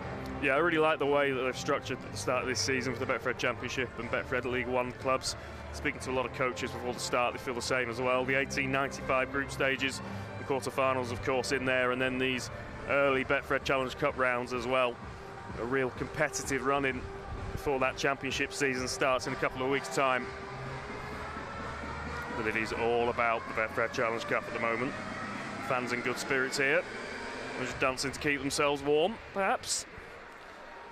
It's, uh, I've spent all week, Paul, thinking that we were going to have our first taste of summer rugby today. Looking at the weather forecast, and we've got this. Yeah, was uh, was stood about uh, 25 foot foot in the area at Featherstone with the light westerly breeze, one might say. But uh, yeah, we're marching, keeping the toes warm at the minute. But the, the dirty shirts are back out as we speak, led by Danny Addy. Yeah, no change of shirts. They don't do that at this level. Danny Addy leading them out. Wakefield following behind. And you get the you get the impression that if Wakefield can start quickly and just get themselves on top, yep. then they have got the quality to turn this game around. But as we saw in that first half, taking your chances is going to be the key on a day like this. Yeah, well, well, Wakefield will be open to roll Featherstone now and build some pressure. And I think Caleb Aekins is going to be a busy man. He's going to have to field a few uh, aerial bombardment from uh, Lino and Gale in particular. Josh Griffin there, and man, another former winner of this competition out there. You need all that experience to turn this around for Wakefield in the next 40 minutes. Guys, you got me. As we get back underway. So Featherstone with that 10-point lead to defend. Wakefield looking to just chip away with it and get themselves back on top in this affair, or on top. Of One course, that nil next to their name will Wait be a, wait, a guys, concern wait, for Daryl Powell, a real source of pride so far, you'd imagine, for James Ford and his team. And uh, in a way. Paul, I'm going to. Massively oversimplify things here, but it, it, it is quite a simple game at this point for Featherstone, isn't it? Just don't make any errors, uh, uh, keep things tight. Simple to say, not simple to do, though. You know, ma- don't make errors, but you've got an awful lot of mud, wind, and rain coming at you in your face, and you're also running up an hill, and there's also a load of blokes ready to belt you. So, um, it's uh, yeah, it's simple to say, but not simple to do. And Feathers and Wakefield are going to have a big, uh, a big say in this outcome. That's why I'm stood up here you and not go. down there, and Albert comes up with the error. First one. He made a couple of really good offloads in the build-up to those two tries. Yeah, he's looked heavy though, I think, in his carries. Uh, you know, he, he- Sp- Springer were on. I thought he were really forceful in his carries. I don't think Wellington's uh, had the same impact. Uh, he did some, coup- like you say, a couple of good offloads, um, but uh, his carries have not been at the same uh, force that Springer was previous to him. Yeah, the benches are going to be so important throughout this second half. Harvey Smith onto the field for Wakefield, and it's him that plays the ball from the base of the scrum. Lino drops it off to Griffin. Griffin just loses his footing a little bit, can't make a huge amount of progress. Smith brings it out to the left to Yule. Solid contact. So Liam Hood just taking a rest for the start of the second half. Uh, Tony Renouf with the carry there. Brought down 25 metres or so short. Lino brings it up to the line. Little show and go. Now it comes outside to Jowett. Griffin brings it back on the inside where he's brought down. Probably about 16 metres away from that Featherstone try line. Jowett at acting half. Brings it out to Lino. Lino into Yule. Just spinning away from a couple of tackles and making some progress. Brought down on the 10. This is the last. Bang central, some options left and right. They come out to Gale, who just stabs a kick through, and they could be in here. It just dealt with in the end. Well, that's building Waka pressure. Coke Yeah, who that- just puts it out for the uh, the goal line dropout, but early intention shown from Wakefield. Yeah, and there's the kicking game, isn't it, from Luke Gale now? So uh, this is the start of the pressure building. So uh, Featherstone, well, you kind of get the feel. I know it's only like two sets in, but uh, it's going to be very much like we'll continue to look into our right, like we did in the first half, and uh, and, and Featherstone are going to have to test their resilience. Oh, but there's an error from Yule. It looks like a, a laboured carry, and the shot came in right in the bread basket, and ball coughed up.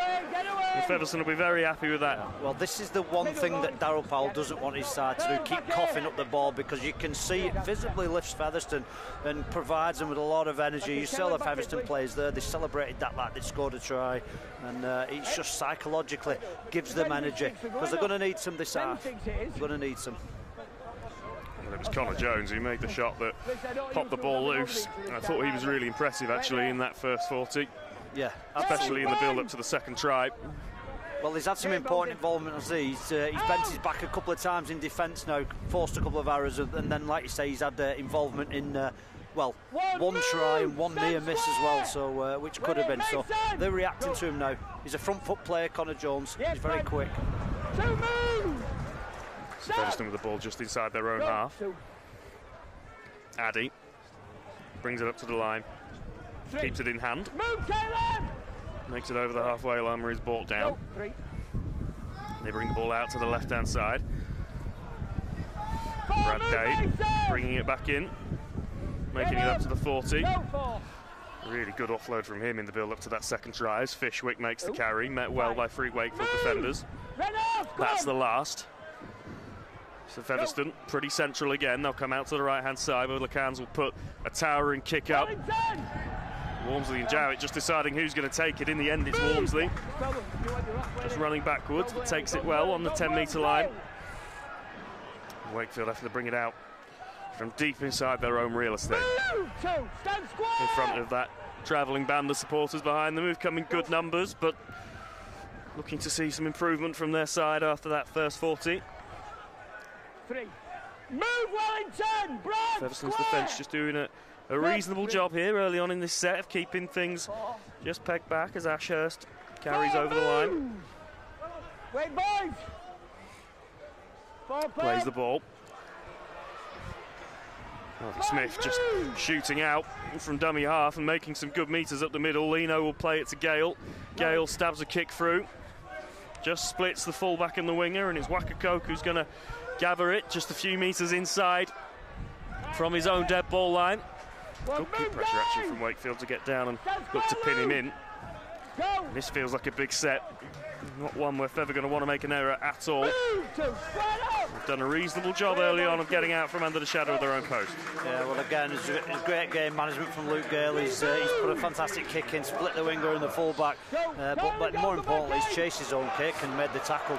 Well, there's Gadwin Springer. You just spoke about him back on the field, immediately making a good carry, finding his front and getting a quick play the ball. An opportunity perhaps here at Tony Renouf in the end, just doing enough to drag Harry Bowes down. McCann will put the kick in from just inside his own half. Jowett just lost his footing a little bit, but in the end, the ball is more towards Romain Franco anyway. Good kick chase. It's a great set from Featherstone. Great set. They- they've got, like you say, from Gadwin Springer, strong carry. Uh, but Wakefield will be disappointed. Not, the con- not that the ruck control that they need there. When there's no really, uh, they're not having to defend wide. They can they can jam up and get numbers in the tackle, as you see Featherstone are doing. They've got a real good ruck control. They did the last set. And they seem to be doing the same thing now. Apply numbers. And there's just a, a little bit of disjointedness, perhaps, from Wakefield. But as I say that, they get themselves a penalty. Is this for Vagana who's just Yeah, Isaiah Vagana onto the field for the first time. Big human being. Yeah, big unit. He's going to add some some real go forward, you would think, to this Wakefield side. And for his dad, Joe, of course. Bradford. Tried to tackle his dad many a time. Pitts, big carry from the Wakefield loose forward. Met well by the Featherstone defence, but some good meters made. Griffin from acting half gives it to Lino, and here is Isaiah Vagana for the first time. Immediately spinning out of some contact, getting his getting to his front, and it's a quick play the ball, so instant impact from Vagana, and an opportunity for Wakefield here. Gale to Lino, there's space. If they can make it out to the left-hand side, I think they've got in. Instant impact from Isaiah Vagana, and Wakefield find themselves on the board. Yeah, absolutely. Well, what a strong carry. What a strong carry from Vagana. He's ridden a challenge. He's, he's rolled out of it. He's won the ruck. And we just spoke about the speed of the ruck. And, uh, you know, the first quick play of the ball, well, they've, they've shipped out wide. Luke Gale squared up nicely. Lino's ma- uh, paired up with him and Jowett. The full spine.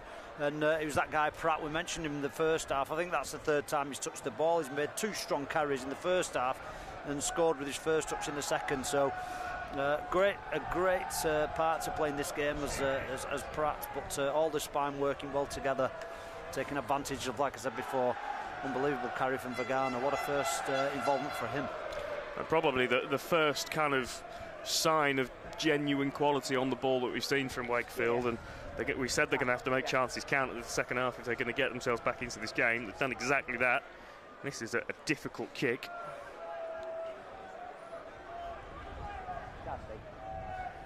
I think it's Max Jowett on kicking, Yeah. kicking duties for Wakefield. Interesting with uh, Luke Gale in the side, but I think it is going to be Jowett.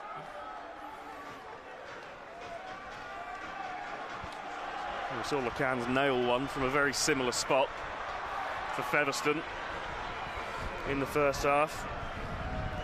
All these extra twos are going to be crucially important, you feel, in this game.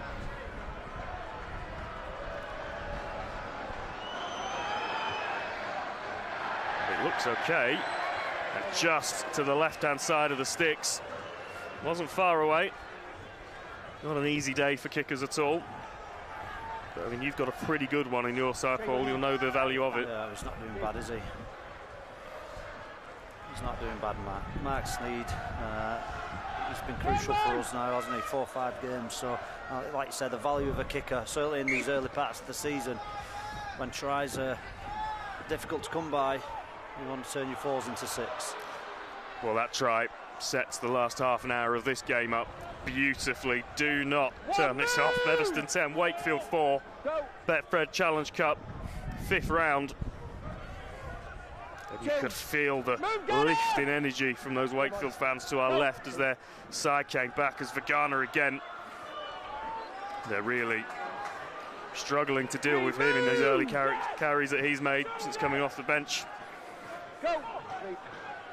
Lino brings it up to the line, drops it back off to Griffin. Groff Griffin met well. Springer and Day. Bowes in there as well. Harvey Smith just looked to the right, but in the end decides to come left. Five, movement! Tom Doyle in the end brought down. And they do come over to the right-hand side this time. Lino puts a, a tall kick up in the air. Rakins to deal with. Romain Franco lost his footing, which caused a little bit of chaos for both teams there, but Featherstone have dealt with it. Deep inside their own half, though, coming off their own line. Gale, met by Smith. Franco in there as well. And Vagana.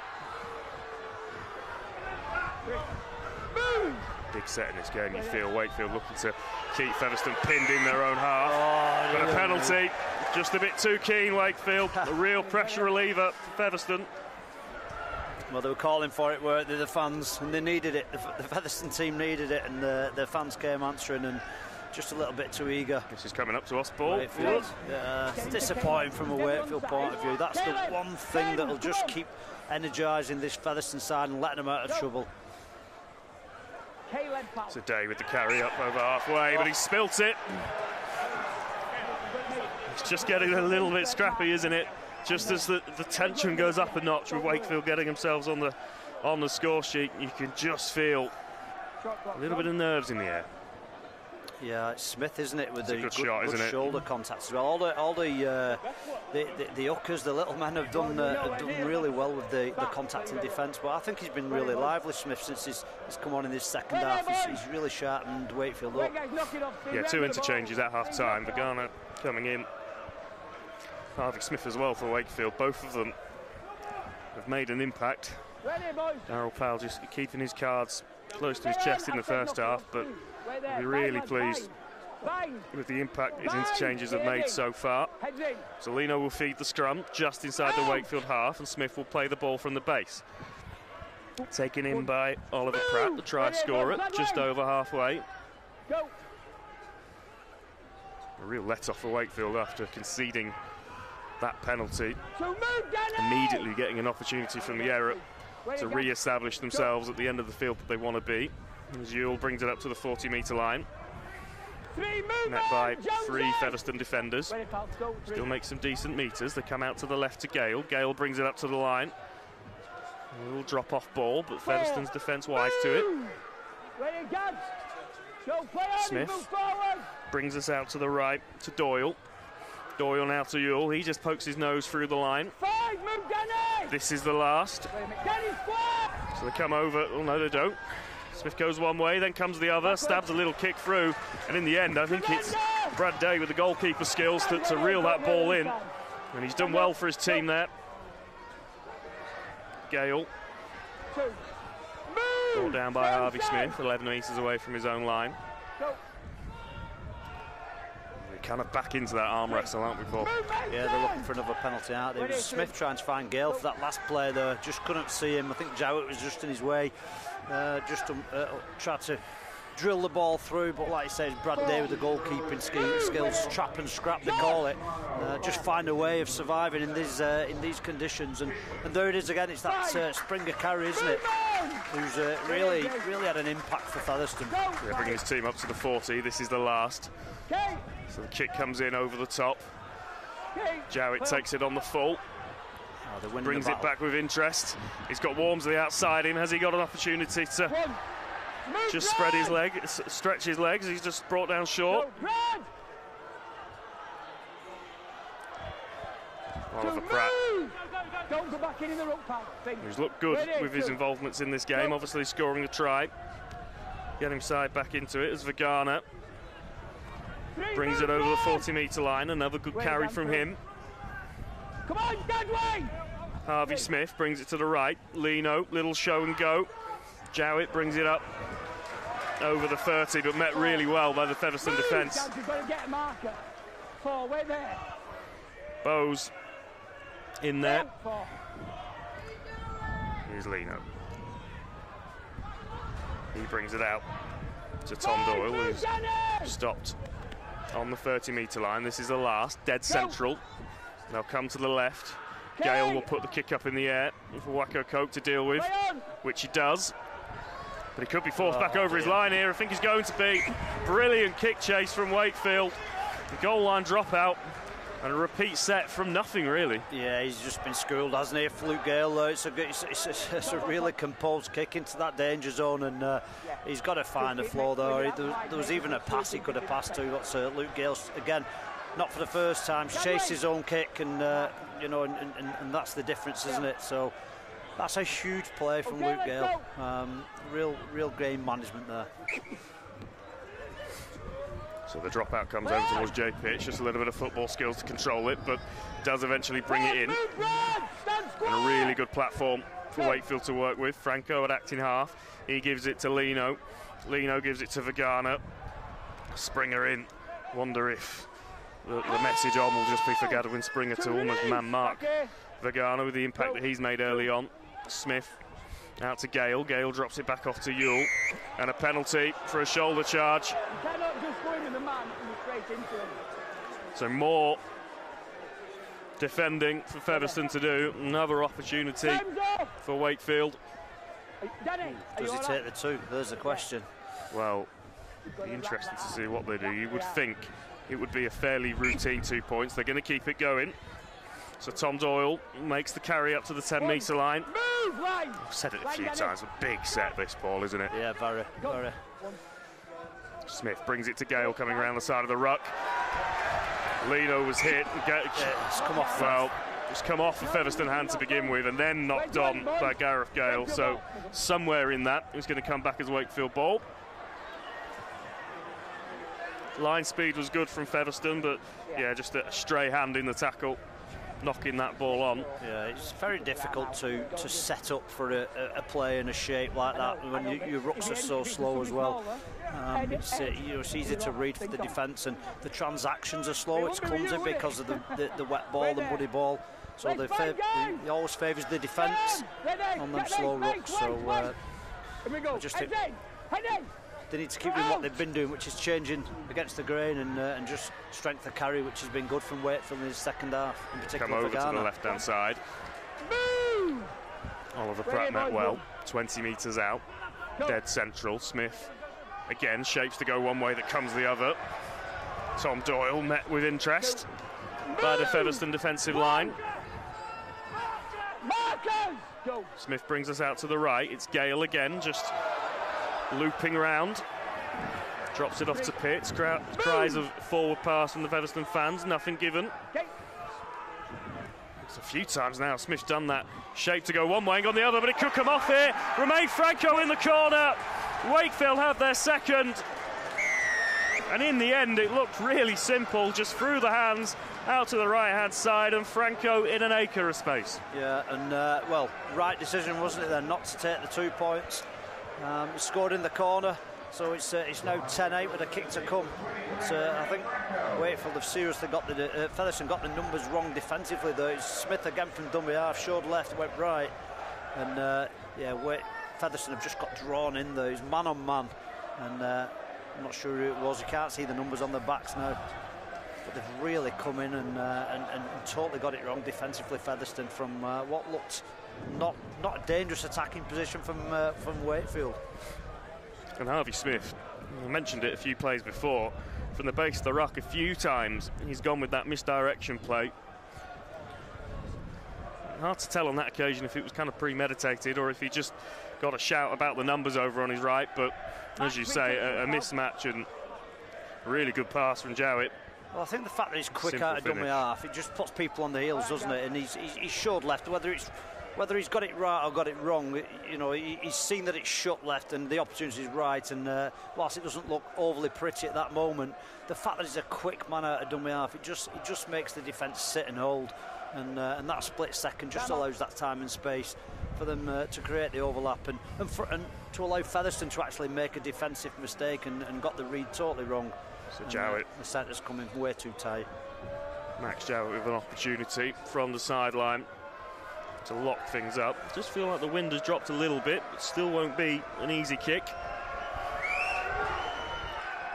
And he's just pushed it to the right hand side of the sticks. So Featherstone stay in the lead. Just. It's a two point ball game. And I tell you what, those Wakefield fans to our left are into this one now. A lot of noise coming from over there. They need to be better, don't they, Featherstone? They, they won't survive for 20 minutes without asking some questions themselves. If you look at the contrast for the first half, Wakefield did get up into Featherstone's, albeit quite seldom, but they did get up there and they did ask a few questions. Featherstone, I don't remember actually looking left in this second half for the whole of the 20 minutes. It's been uh, a totally dominant second half from Wakefield. Well, 20 minutes left to play as Yule makes a big carry. Keep talking about tension. This game has gone up a notch again for Vagana. Met well by Springer. Move back here. Did you just say the wind had dropped? Yeah, this is my fault. Some good post-contact meters again. Very physical, strong carries from Wakefield. Vagana's been a real changing point, hasn't he? Yeah. And they come up to the line. Griffin brought down just short of halfway. I think Lino's looked really lively, hasn't he? Him and Gale kind of changing direction around the rucks a few times in the second half. A very different performance from what we saw in the first half. And Harvey Smith brings us out to the right, and Lino puts a really tall kick up in the air for Aekins to deal with, which he doesn't. It's spilt. Griffin picks it up. There could be an opportunity straight away here. Comes over the top to Jowett. There's a forward pass. The first So I think we're going to come back to the knock on. Well, I called it, didn't I? I said that Aekins going to going to get some aerial bombardment uh, in this second half. I called it, and, uh, and there it is. And, and he's been known to come up with some uh, mistakes like that as Caleb Aekins previously on this ground, but not in Featherstone colours. So. Um, yeah, he's come up with a clanger there. He's put him in good field position. You just pointed out regarding Gale and Lino.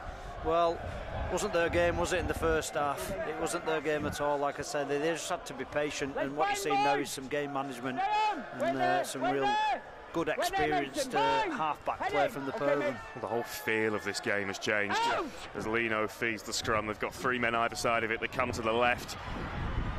Pratt nearly poking his nose through for another, but Featherstone stand firm for now. Just feels like they need to withstand this. It feels like they're clinging on a bit, Featherstone. If they can withstand it, they'll still be banging this game, still leading, of course. But it's been all Wakefield in the second half, and there's the offload. Harvey Smith dropping it back on the inside. Options left and right. Brings it out to the left to Gale. Gale with a cutout pass. Pratt met well. Oh. Met too well. A penalty.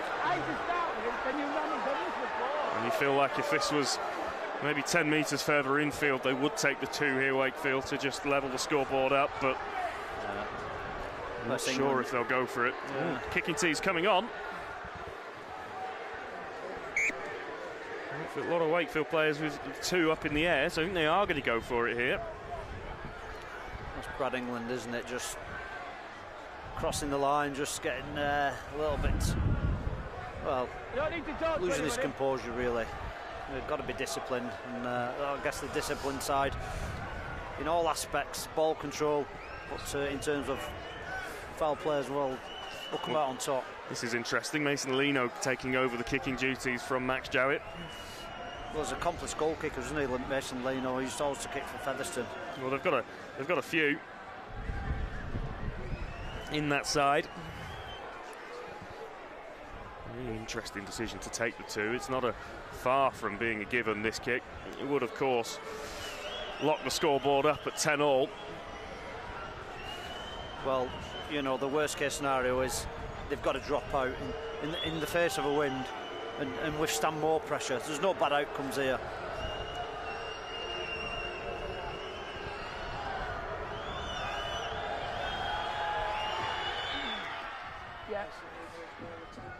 And he's got it. So we are locked up at 10 points each. 15 minutes left in this game. We thought this was going to be a cracker. It's delivered.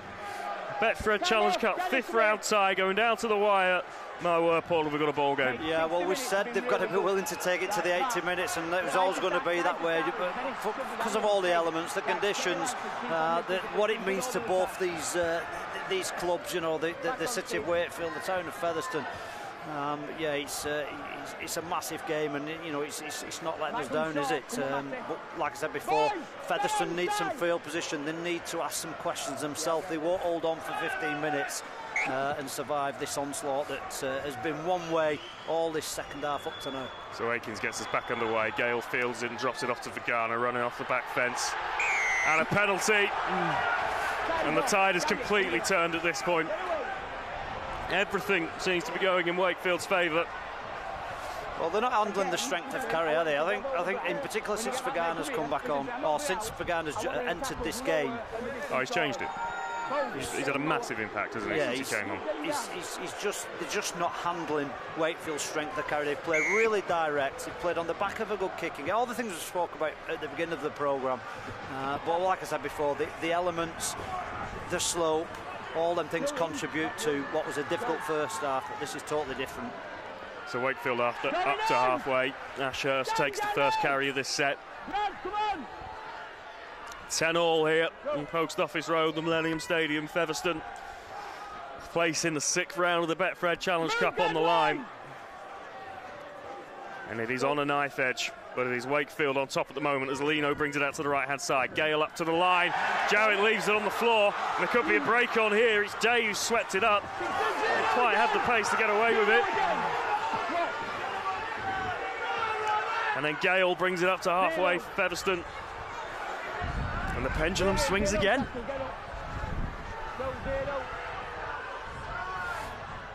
This is a huge set for Fev, isn't it? They've got to get, they've got to get some inroads now and ask a question and, and, finish with a real positive kick. Try and build some pressure. Try and spend some time down at this end of the field.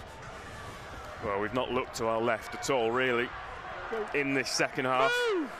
First time we've seen Featherstone in possession in anything resembling good ball. Lino flying up to make the tackle on Lacans.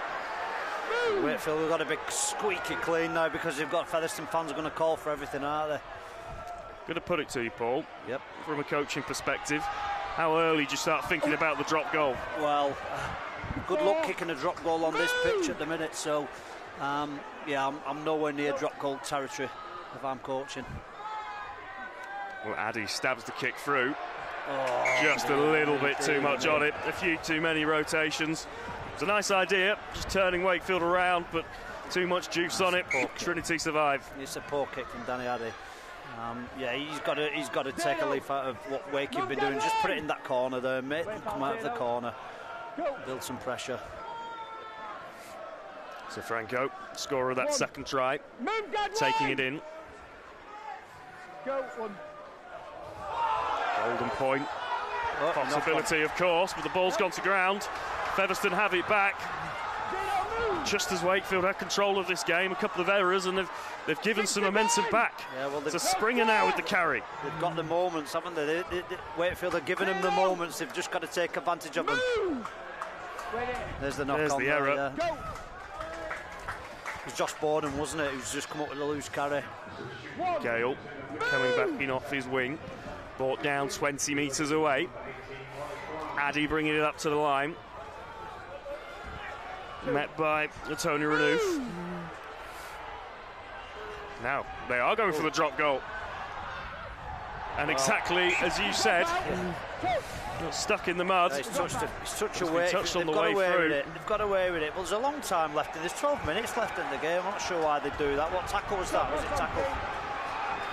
Kanzi went for it, and it did just take a deflection on the way through. I'm not sure it ever had the legs to get over, but they have earned themselves a repeat set out of it. So another opportunity for Featherstone. That's a mammoth of a dropout. In the end, Wacokecoke's there to bring the ball back.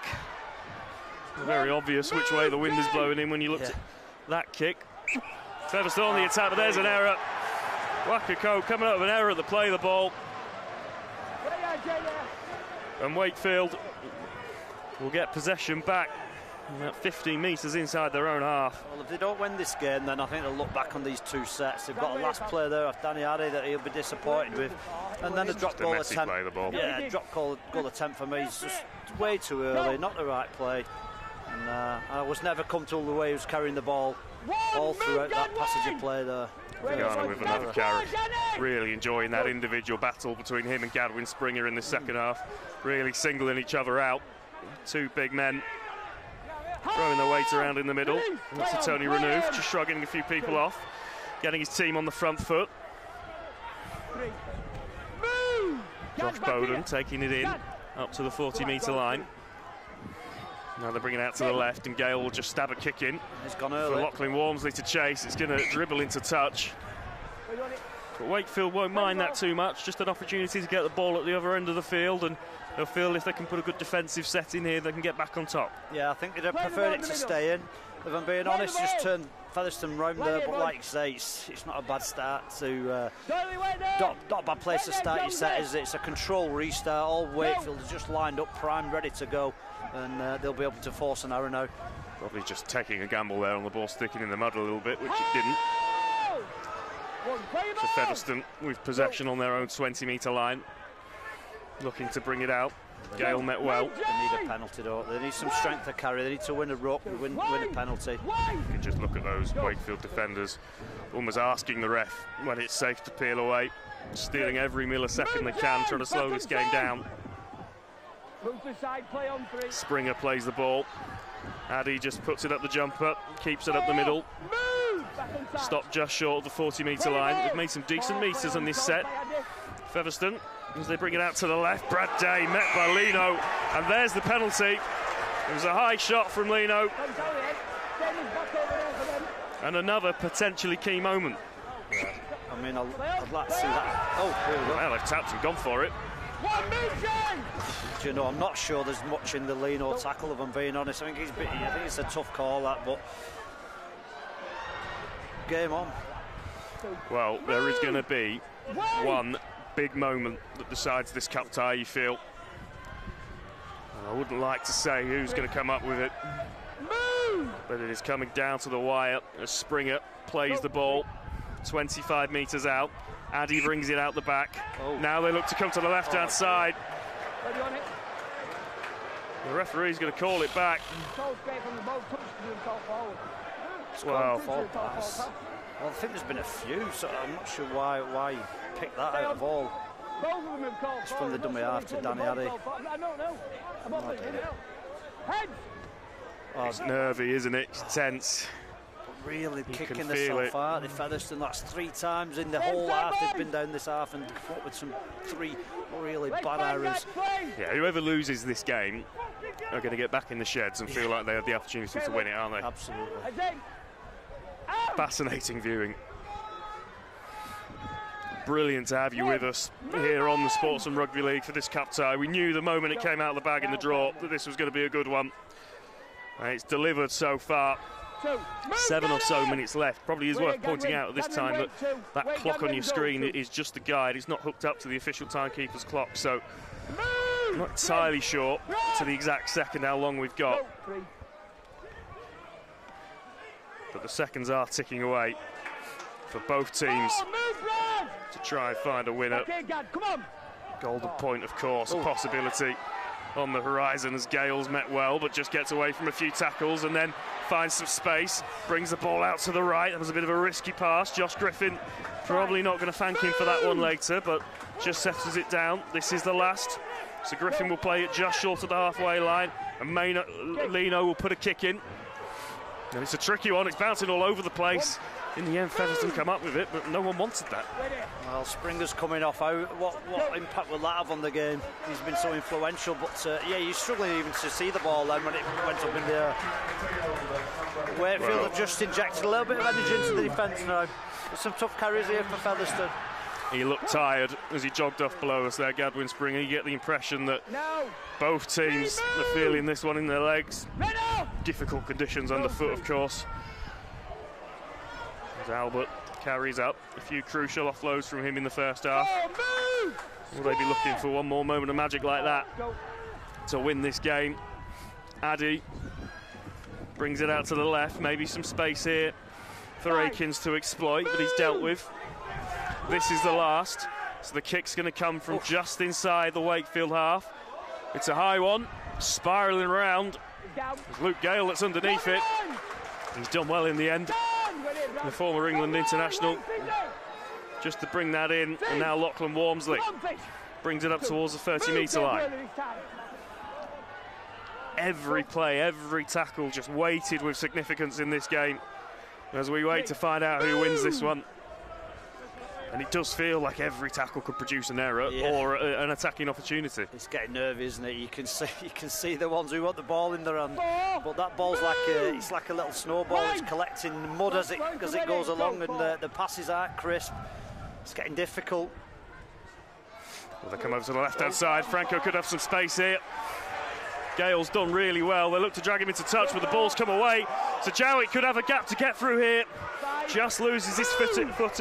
Footing. This is the last. Get up. Go, So they'll come out to Gale. They'll put the kick up. Spiralling. Walmsley putting Wacokecoke under Oh. pressure. He's done well in the end. What a He's done really well. That's fantastic. What a Wacokecoke. That's, that's absolutely outstanding take. And he's he's not pressure. always been too reliable, has he, in the second half under those? He's, he's looked he's looked nervous every time he's touched the ball for me. His carry just doesn't seem secure. He's got it really tucked under old school t- under that left arm there. Uh, he come up with one error, but uh, that was a great catch under pressure.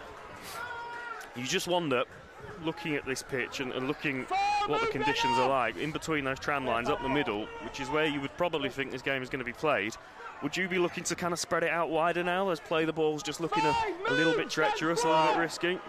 Ready, Josh, fine. I, I just don't think the transactions, we just see him keeping the ball in effort those. to keep the ball alive. Effort, yeah. Kick goes up for Jowett to take, and he's done really well. Really good effort. The answer's no, I wouldn't. I, I- I just, you just need field position, and then it'll be a lead ball. It'll be a missed tackle. It'll be a missed tackle. Somebody's got to break a tackle. Franco plays the ball.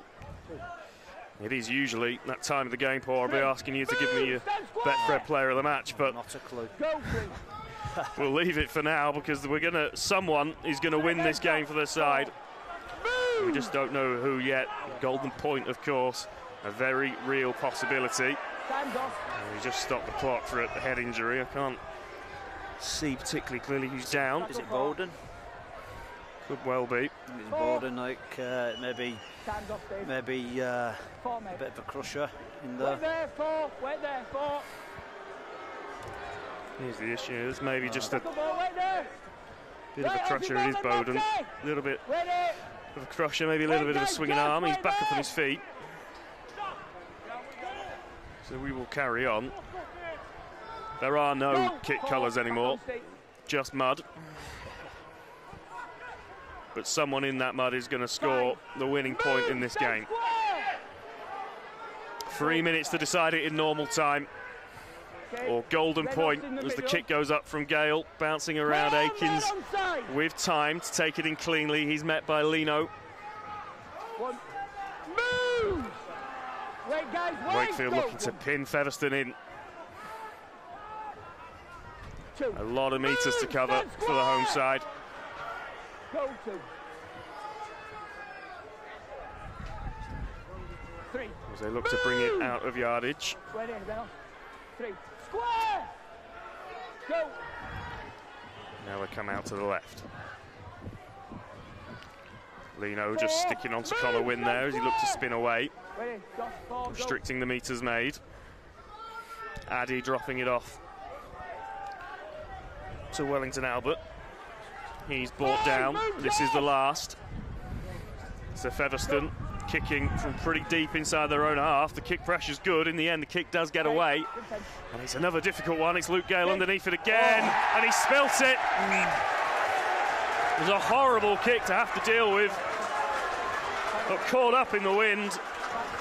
And Luke Gale had a couple of grabs at it, but it's an error and a real opportunity for Featherstone as the seconds continue to tick away. Right, so two, it's, it's the biggest set of the game, isn't it, for Featherstone? They've just got to fi finish this uh, set in a good manner, in a positive manner, on their terms. They don't have to score points in this set now because if they finish it on, on not on their terms, then they're going to go end up at the other end of the field with lo lots of regrets. Just finish it on their terms and just play a little bit patient. They'll get two cracks now, two sets, two Well, sets they'll get. What they don't want to do is it come up with an error of their own. Lacans brings us out to the right hand side. Move! Stand square! Ready. Go. One. Wakefield line speed still pretty good Yeah, considering well how late in the game great- it is. Great carry, great carry. I think that's Jones back onto the field, Yeah, just having a unlucky as well. Having a go from dummy half. Addy brings us out to the left hand side. Gale coming in off his wing. Tony Renouf gets out to him. Bowden as well. Probably negative meters on that play from a Featherstone perspective. Jones brings us back out to the left. Five. That's a good set from Wade. I Wake. think that's Fishwick with the carry. Difficult to tell with these jerseys just caked in mud, but this is the last. The kick goes in over the top. It's not a good one, and Walmsley deals with it, looking to get away. Kick pressure isn't bad though, so Wakefield are starting deep inside their own half. No, discipline though. You've got to have some discipline. What a good set from Wakefield defensively. It was a big set for them. There's a- Walmsley making his second carry of the set, not getting a huge amount of meters out of that. Go. Three. Tony Renouf met well, Yeah, good challenge. Put him down. and this will slow the play the ball Oh, down as well. good. Although he manages to stay on his feet, which sped it up a little bit. And the referee is just going to bring that back. I think it was Yule who thought he'd Okay. got a second bite of the cherry, but this is the last. So the kick needs to come in. It's a little bit disjointed. There's the hooter. So Wakefield aren't able to make anything of it. And my word, Paul Rowley, after 80 minutes, nothing to separate these two sides. And we're going to Golden Point. Well, yeah, absolutely. I wonder if we could have a kick change just, just for us so we can see who's who because uh, they're all mingling into one at the minute. But, you know, it's probably. Uh, oh, both teams, and we said it earlier, don't they? Both teams will have so much regret for things that opportunities they could have taken, things they could have done so much better. Just lacked a, li- lacked a little bit of composure, probably from the Featherstone point of view. And then in terms of Wakefield, just a little bit on their execution there, and a few too many errors there. In particular, that Luke Gale one, which was a big one there at the end. But uh, I'll be I'll be honest. I think uh, the important thing for me is, and the big play in this one is. As, as I'm watching half the fans go home, I'm not sure they, they understand it's golden point. There's a lot wandering off, but the, the announcement's just going to come on. But who's Maybe just play? trying to take a risk on a, one more pint behind before Well, Golden Point. Who's going to play down the hill? Does it automatically swap? Is it Featherstone down the hill, or do they have to do a do a toss I up? think there's a toss. So this is a big, a big, a big flip of the coin. Who's going to play down the hill? Because uh, I think we've seen already. Um, this, this, this has been a game of two halves, and, and the hill and the conditions have, have pretty much dictated and dominated uh, the flow, the tempo, and uh, the territory of this entire 80 minutes. Who are the key men in this? If you if we're looking at potential match winners, obviously there is the coin toss. It looks from those pictures as if it is Wakefield who are going to have the advantage of the hill, Ah, okay. going left to right, Well, they're the favourites. and it will be Featherstone kicking off.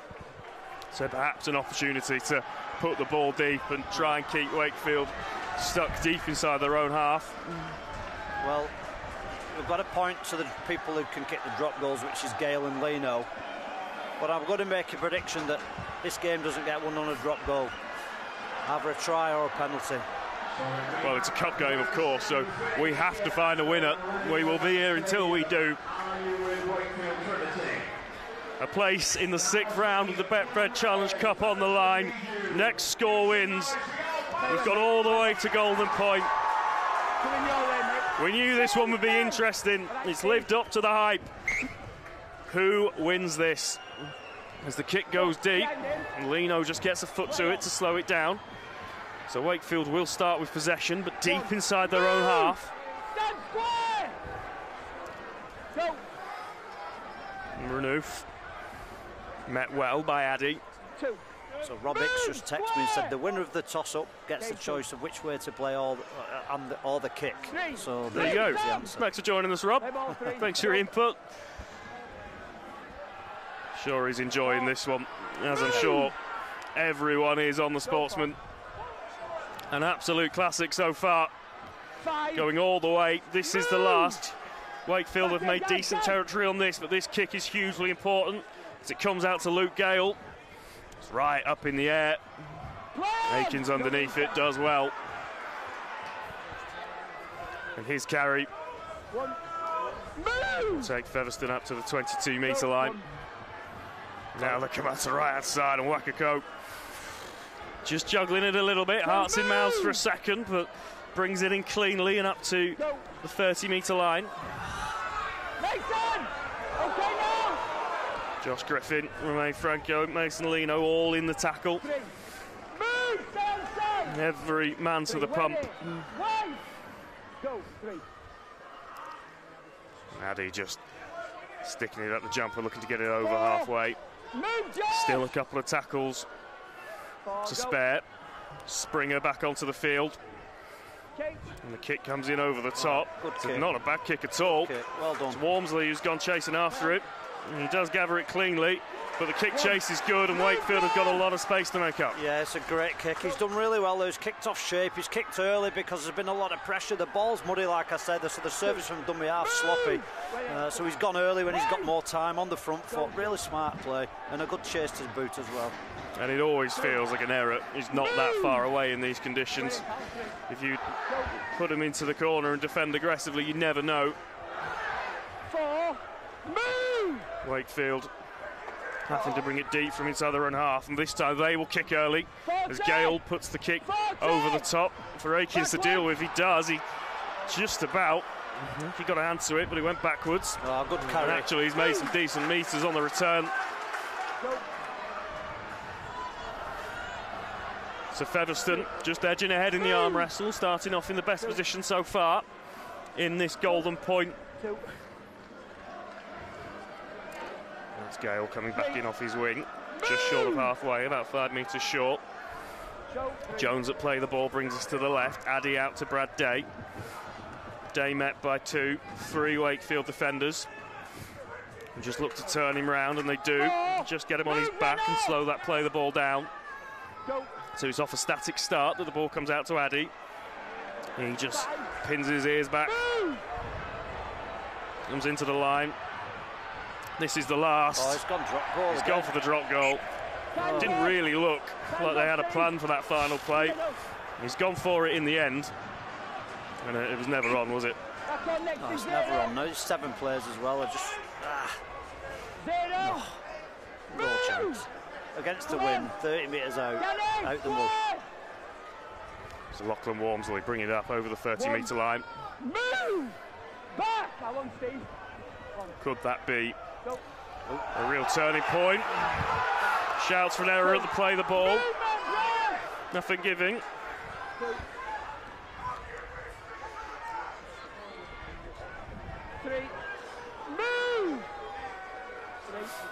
Wakefield just short of halfway. Uele will bring it up over that halfway line. Four. Vagana offering himself up as an option there. Didn't happen. Now they come out to the right. Lino brings it up to the line, and Josh Griffin comes up with the error, and there's some space here. Gale could be away. Gale could be away to win the cup tie. He's going for the corner. He's going to make it. Featherstone Rovers win in the most dramatic of circumstances. Gareth Gale goes 60 metres in Golden Point, and Featherstone Rovers are in the sixth round of the Betfred Challenge Cup. We always said there was a chance of an error at any given point. It's Josh Griffin who spilled it. Gareth Gale on hand to clean up and go all the way. And a famous win for Featherstone Paul. Oh ah, well, you can sit. You can only just. It's like this is as old school as it gets. The fans are like jumping on the pitch. Everybody is black from head to toe, and, and like we said before, it was going to come off an arrow, wasn't it? Somebody's going to have to break a tackle, or it's going to come off an arrow, or some a lack of discipline. Here's the try as we speak. It's Mason Lino. Lino up to the line. Yeah, if there's geez. one man on the field you didn't want that ball to fall No. into, Gareth Gale with the pace, Do you even know- in the mud. And it, it looked like there were people there who could cover him as well, but then you started picking out who the players were. It was, it was young Vagana, the big prop. He was never going to chase Gale down, was he? And, uh, well, it's fantastic from Featherstone. They've had to hold on for the whole 40 minutes. They've been dominated for 40 minutes to get to Golden Point. They've had a few chances, they've messed up. And uh, like I say, persistence, resilience, all them words you want, adjectives you want to be described as as a football team, as a rugby team. Well, Featherstone had that today, and uh, it, was, it was Gale who's, who's come up with a match winner, and uh, well deserved. We've been building it up for two weeks since it was drawn out. Boy, did it deliver. What a game. Horrendous conditions, but incredible entertainment served up from these two teams. And it is Featherstone who will be in the draw for the next round. Paul, we waited until the end. I don't know how you're going to choose it, rather you than me, but who is your Betfred player of the match? Um, yeah, I mean, really difficult decision to be honest. But I just think the person who had the ball in his hands most, who wanted the ball in his hands when it got tough and when it got pressurised, and had pieces of quality all over the park. Uh, for me, it was Danny Addy. I thought, I thought, I thought he's a real leader for Featherstone. Danny Addy. So there you go, Danny Addy is your Betfred player of the match. Part of this victorious Featherstone team. These two sides, well, we've had to wait since 1998 to see them in a competitive game. 2024. Featherstone Rovers get the first spoils. We'll obviously see them play each other a couple of times throughout this season in the Betfred Championship. But this evening, it is Featherstone who are into the next round of the Challenge Cup. The jubilant scenes here at Post Office Road. And what a way to win it as well. All the way to Golden Point. And when you think about times in that second half, Paul, they were really, really under the cosh. Wakefield started the second period like a house on fire, got themselves on top, and 60 minutes in, it looked all the world as if they were going to pull away. Featherstone did really well to kind of pull the game back into their hands and then win it in dramatic fashion. Yeah, absolutely. And like, like I say, I think the like it's the 60 minute mark. It looked like Wakefield were just going to continue dominating, and it was a matter of time before they just, you know, they just kept, kept getting over the line, and it looked like they'd win by a couple of tries. To be honest, it was in that much control, um, but you know, it were all going to plan at that point, and uh, and then the errors came, didn't they? And Featherstone dug the way and clawed the way back into it, and like I say, resilience won the day for Fev. Well, a breathless 80 minutes plus 85 minutes nearly of rugby league here at the Millennium Stadium in the Betfred Challenge Cup. We'll just take a reminder of how it all unfolded. The Featherstone Rovers celebrating. This is that first try of the second half. Wakefield getting the numbers right. Oliver Pratt going in over in the corner. Get his team on the scoreboard for the first time.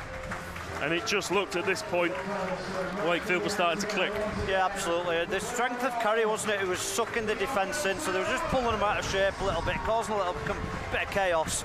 And you can see even here now, people coming in, the centre comes in real tight. He didn't need to, but it's from the strength of Curry and from the speed of the ruck, who Smith made a difference. We pointed that out earlier. And again, the squeezing into the corner, good handling. And it looked too easy at this point for Wakefield. Territory was uh, proving pivotal. And we said at that point, it looked like Wakefield well on top would kick on and go to win. It didn't happen. Featherstone clawing themselves back into it. There's the penalty that levelled things up. And then this is the moment. Just a, a split second too quick from Griffin. Pass behind him. Gale, the benefactor. And with all that space in front of him, even in the mud, too Yeah. quick.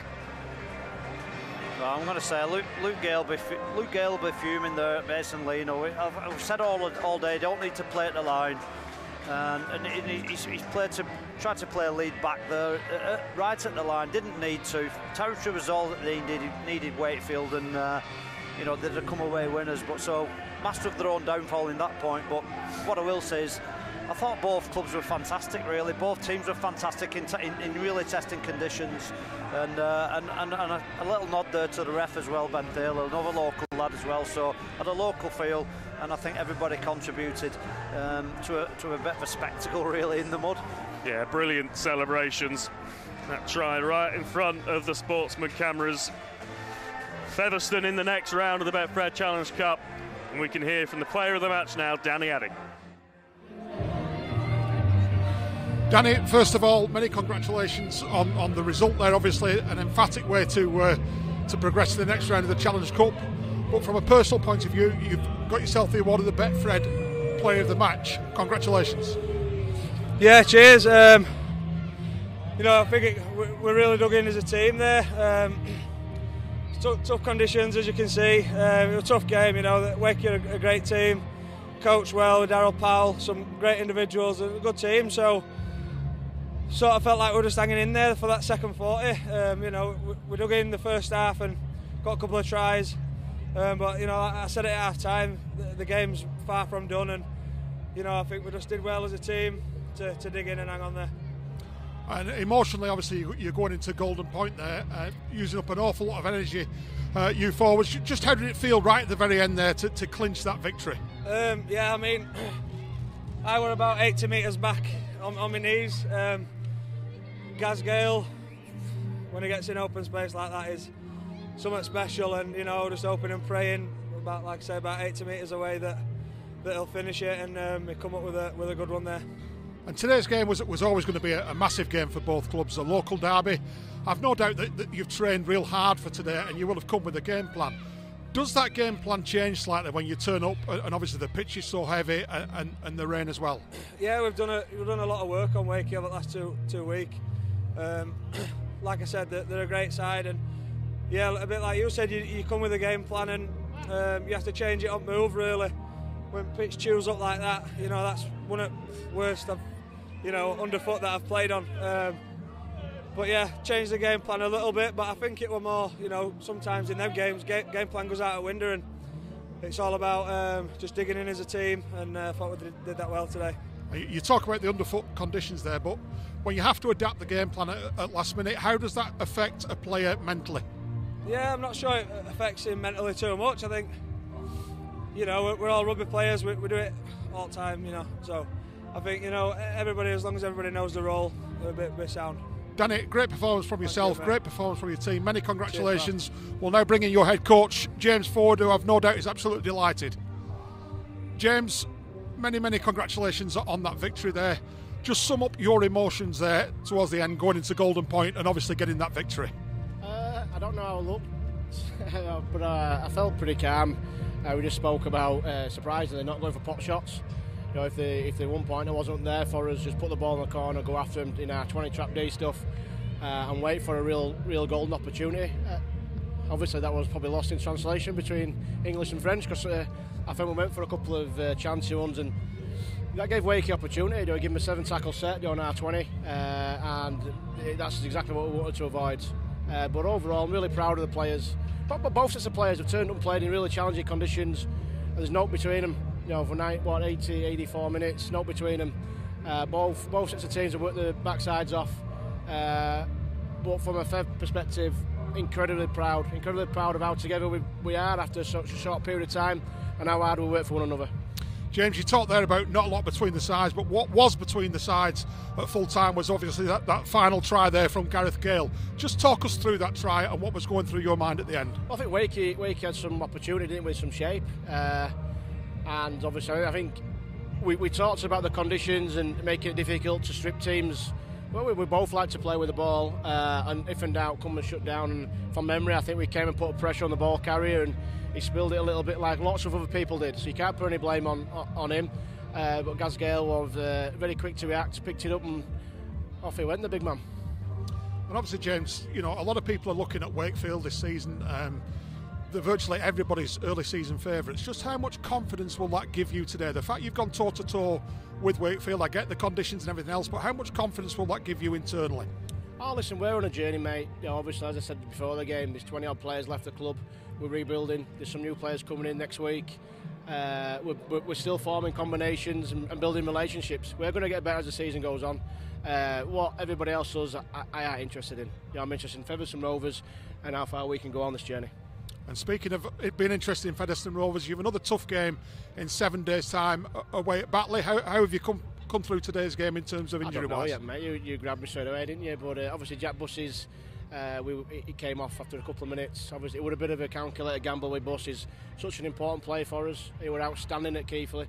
Uh, and if, I, I, felt if he could get a good 20 25 minutes out of me, go a long way towards winning the game. Unfortunately, it looks like he's tweaked his hamstring again, and uh, he'll, he'll be missing for a couple of weeks. And we'll miss him because he's a good player, but uh, gives opportunity to other people. And uh, we've, we've, we've signed players from the middle of League One, we've signed players from the amateurs, we've signed players from uh, Super League reserves. Uh, and as I said, we're on a journey, and I can't wait to see how far we can go. James, we'll let you go back to the players in the dressing rooms. Congratulations. Yeah, mate. Cheers, pal.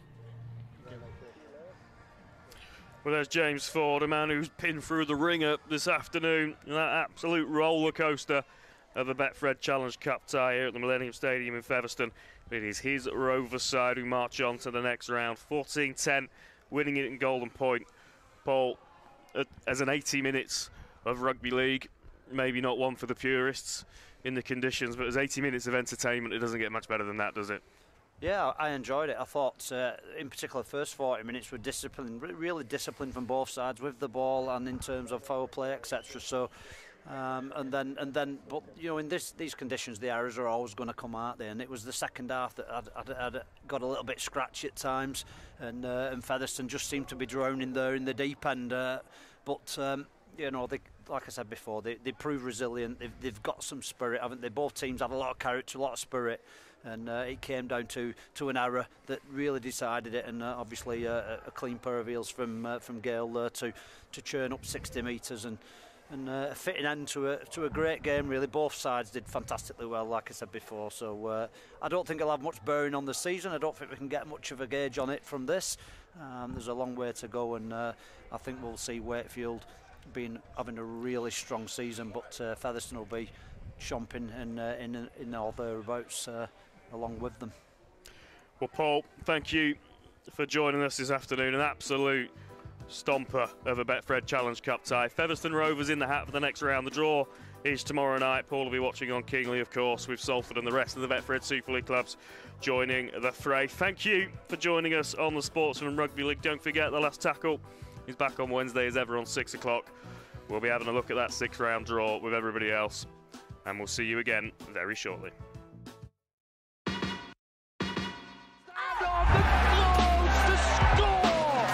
Is a remarkable finish. Burke, Burke goes for the corner and Leah Burke's in. And it's Tamsin Renew. The pass from Holly Dodd. And this could be the first goal of the game because London are going to get there and touch down. He's gone for the same ball and it's going to oh, work. Beautiful. They might score the winner. And North Wales have another. Brings it up to the line, drops it off to Hazard who reaches through.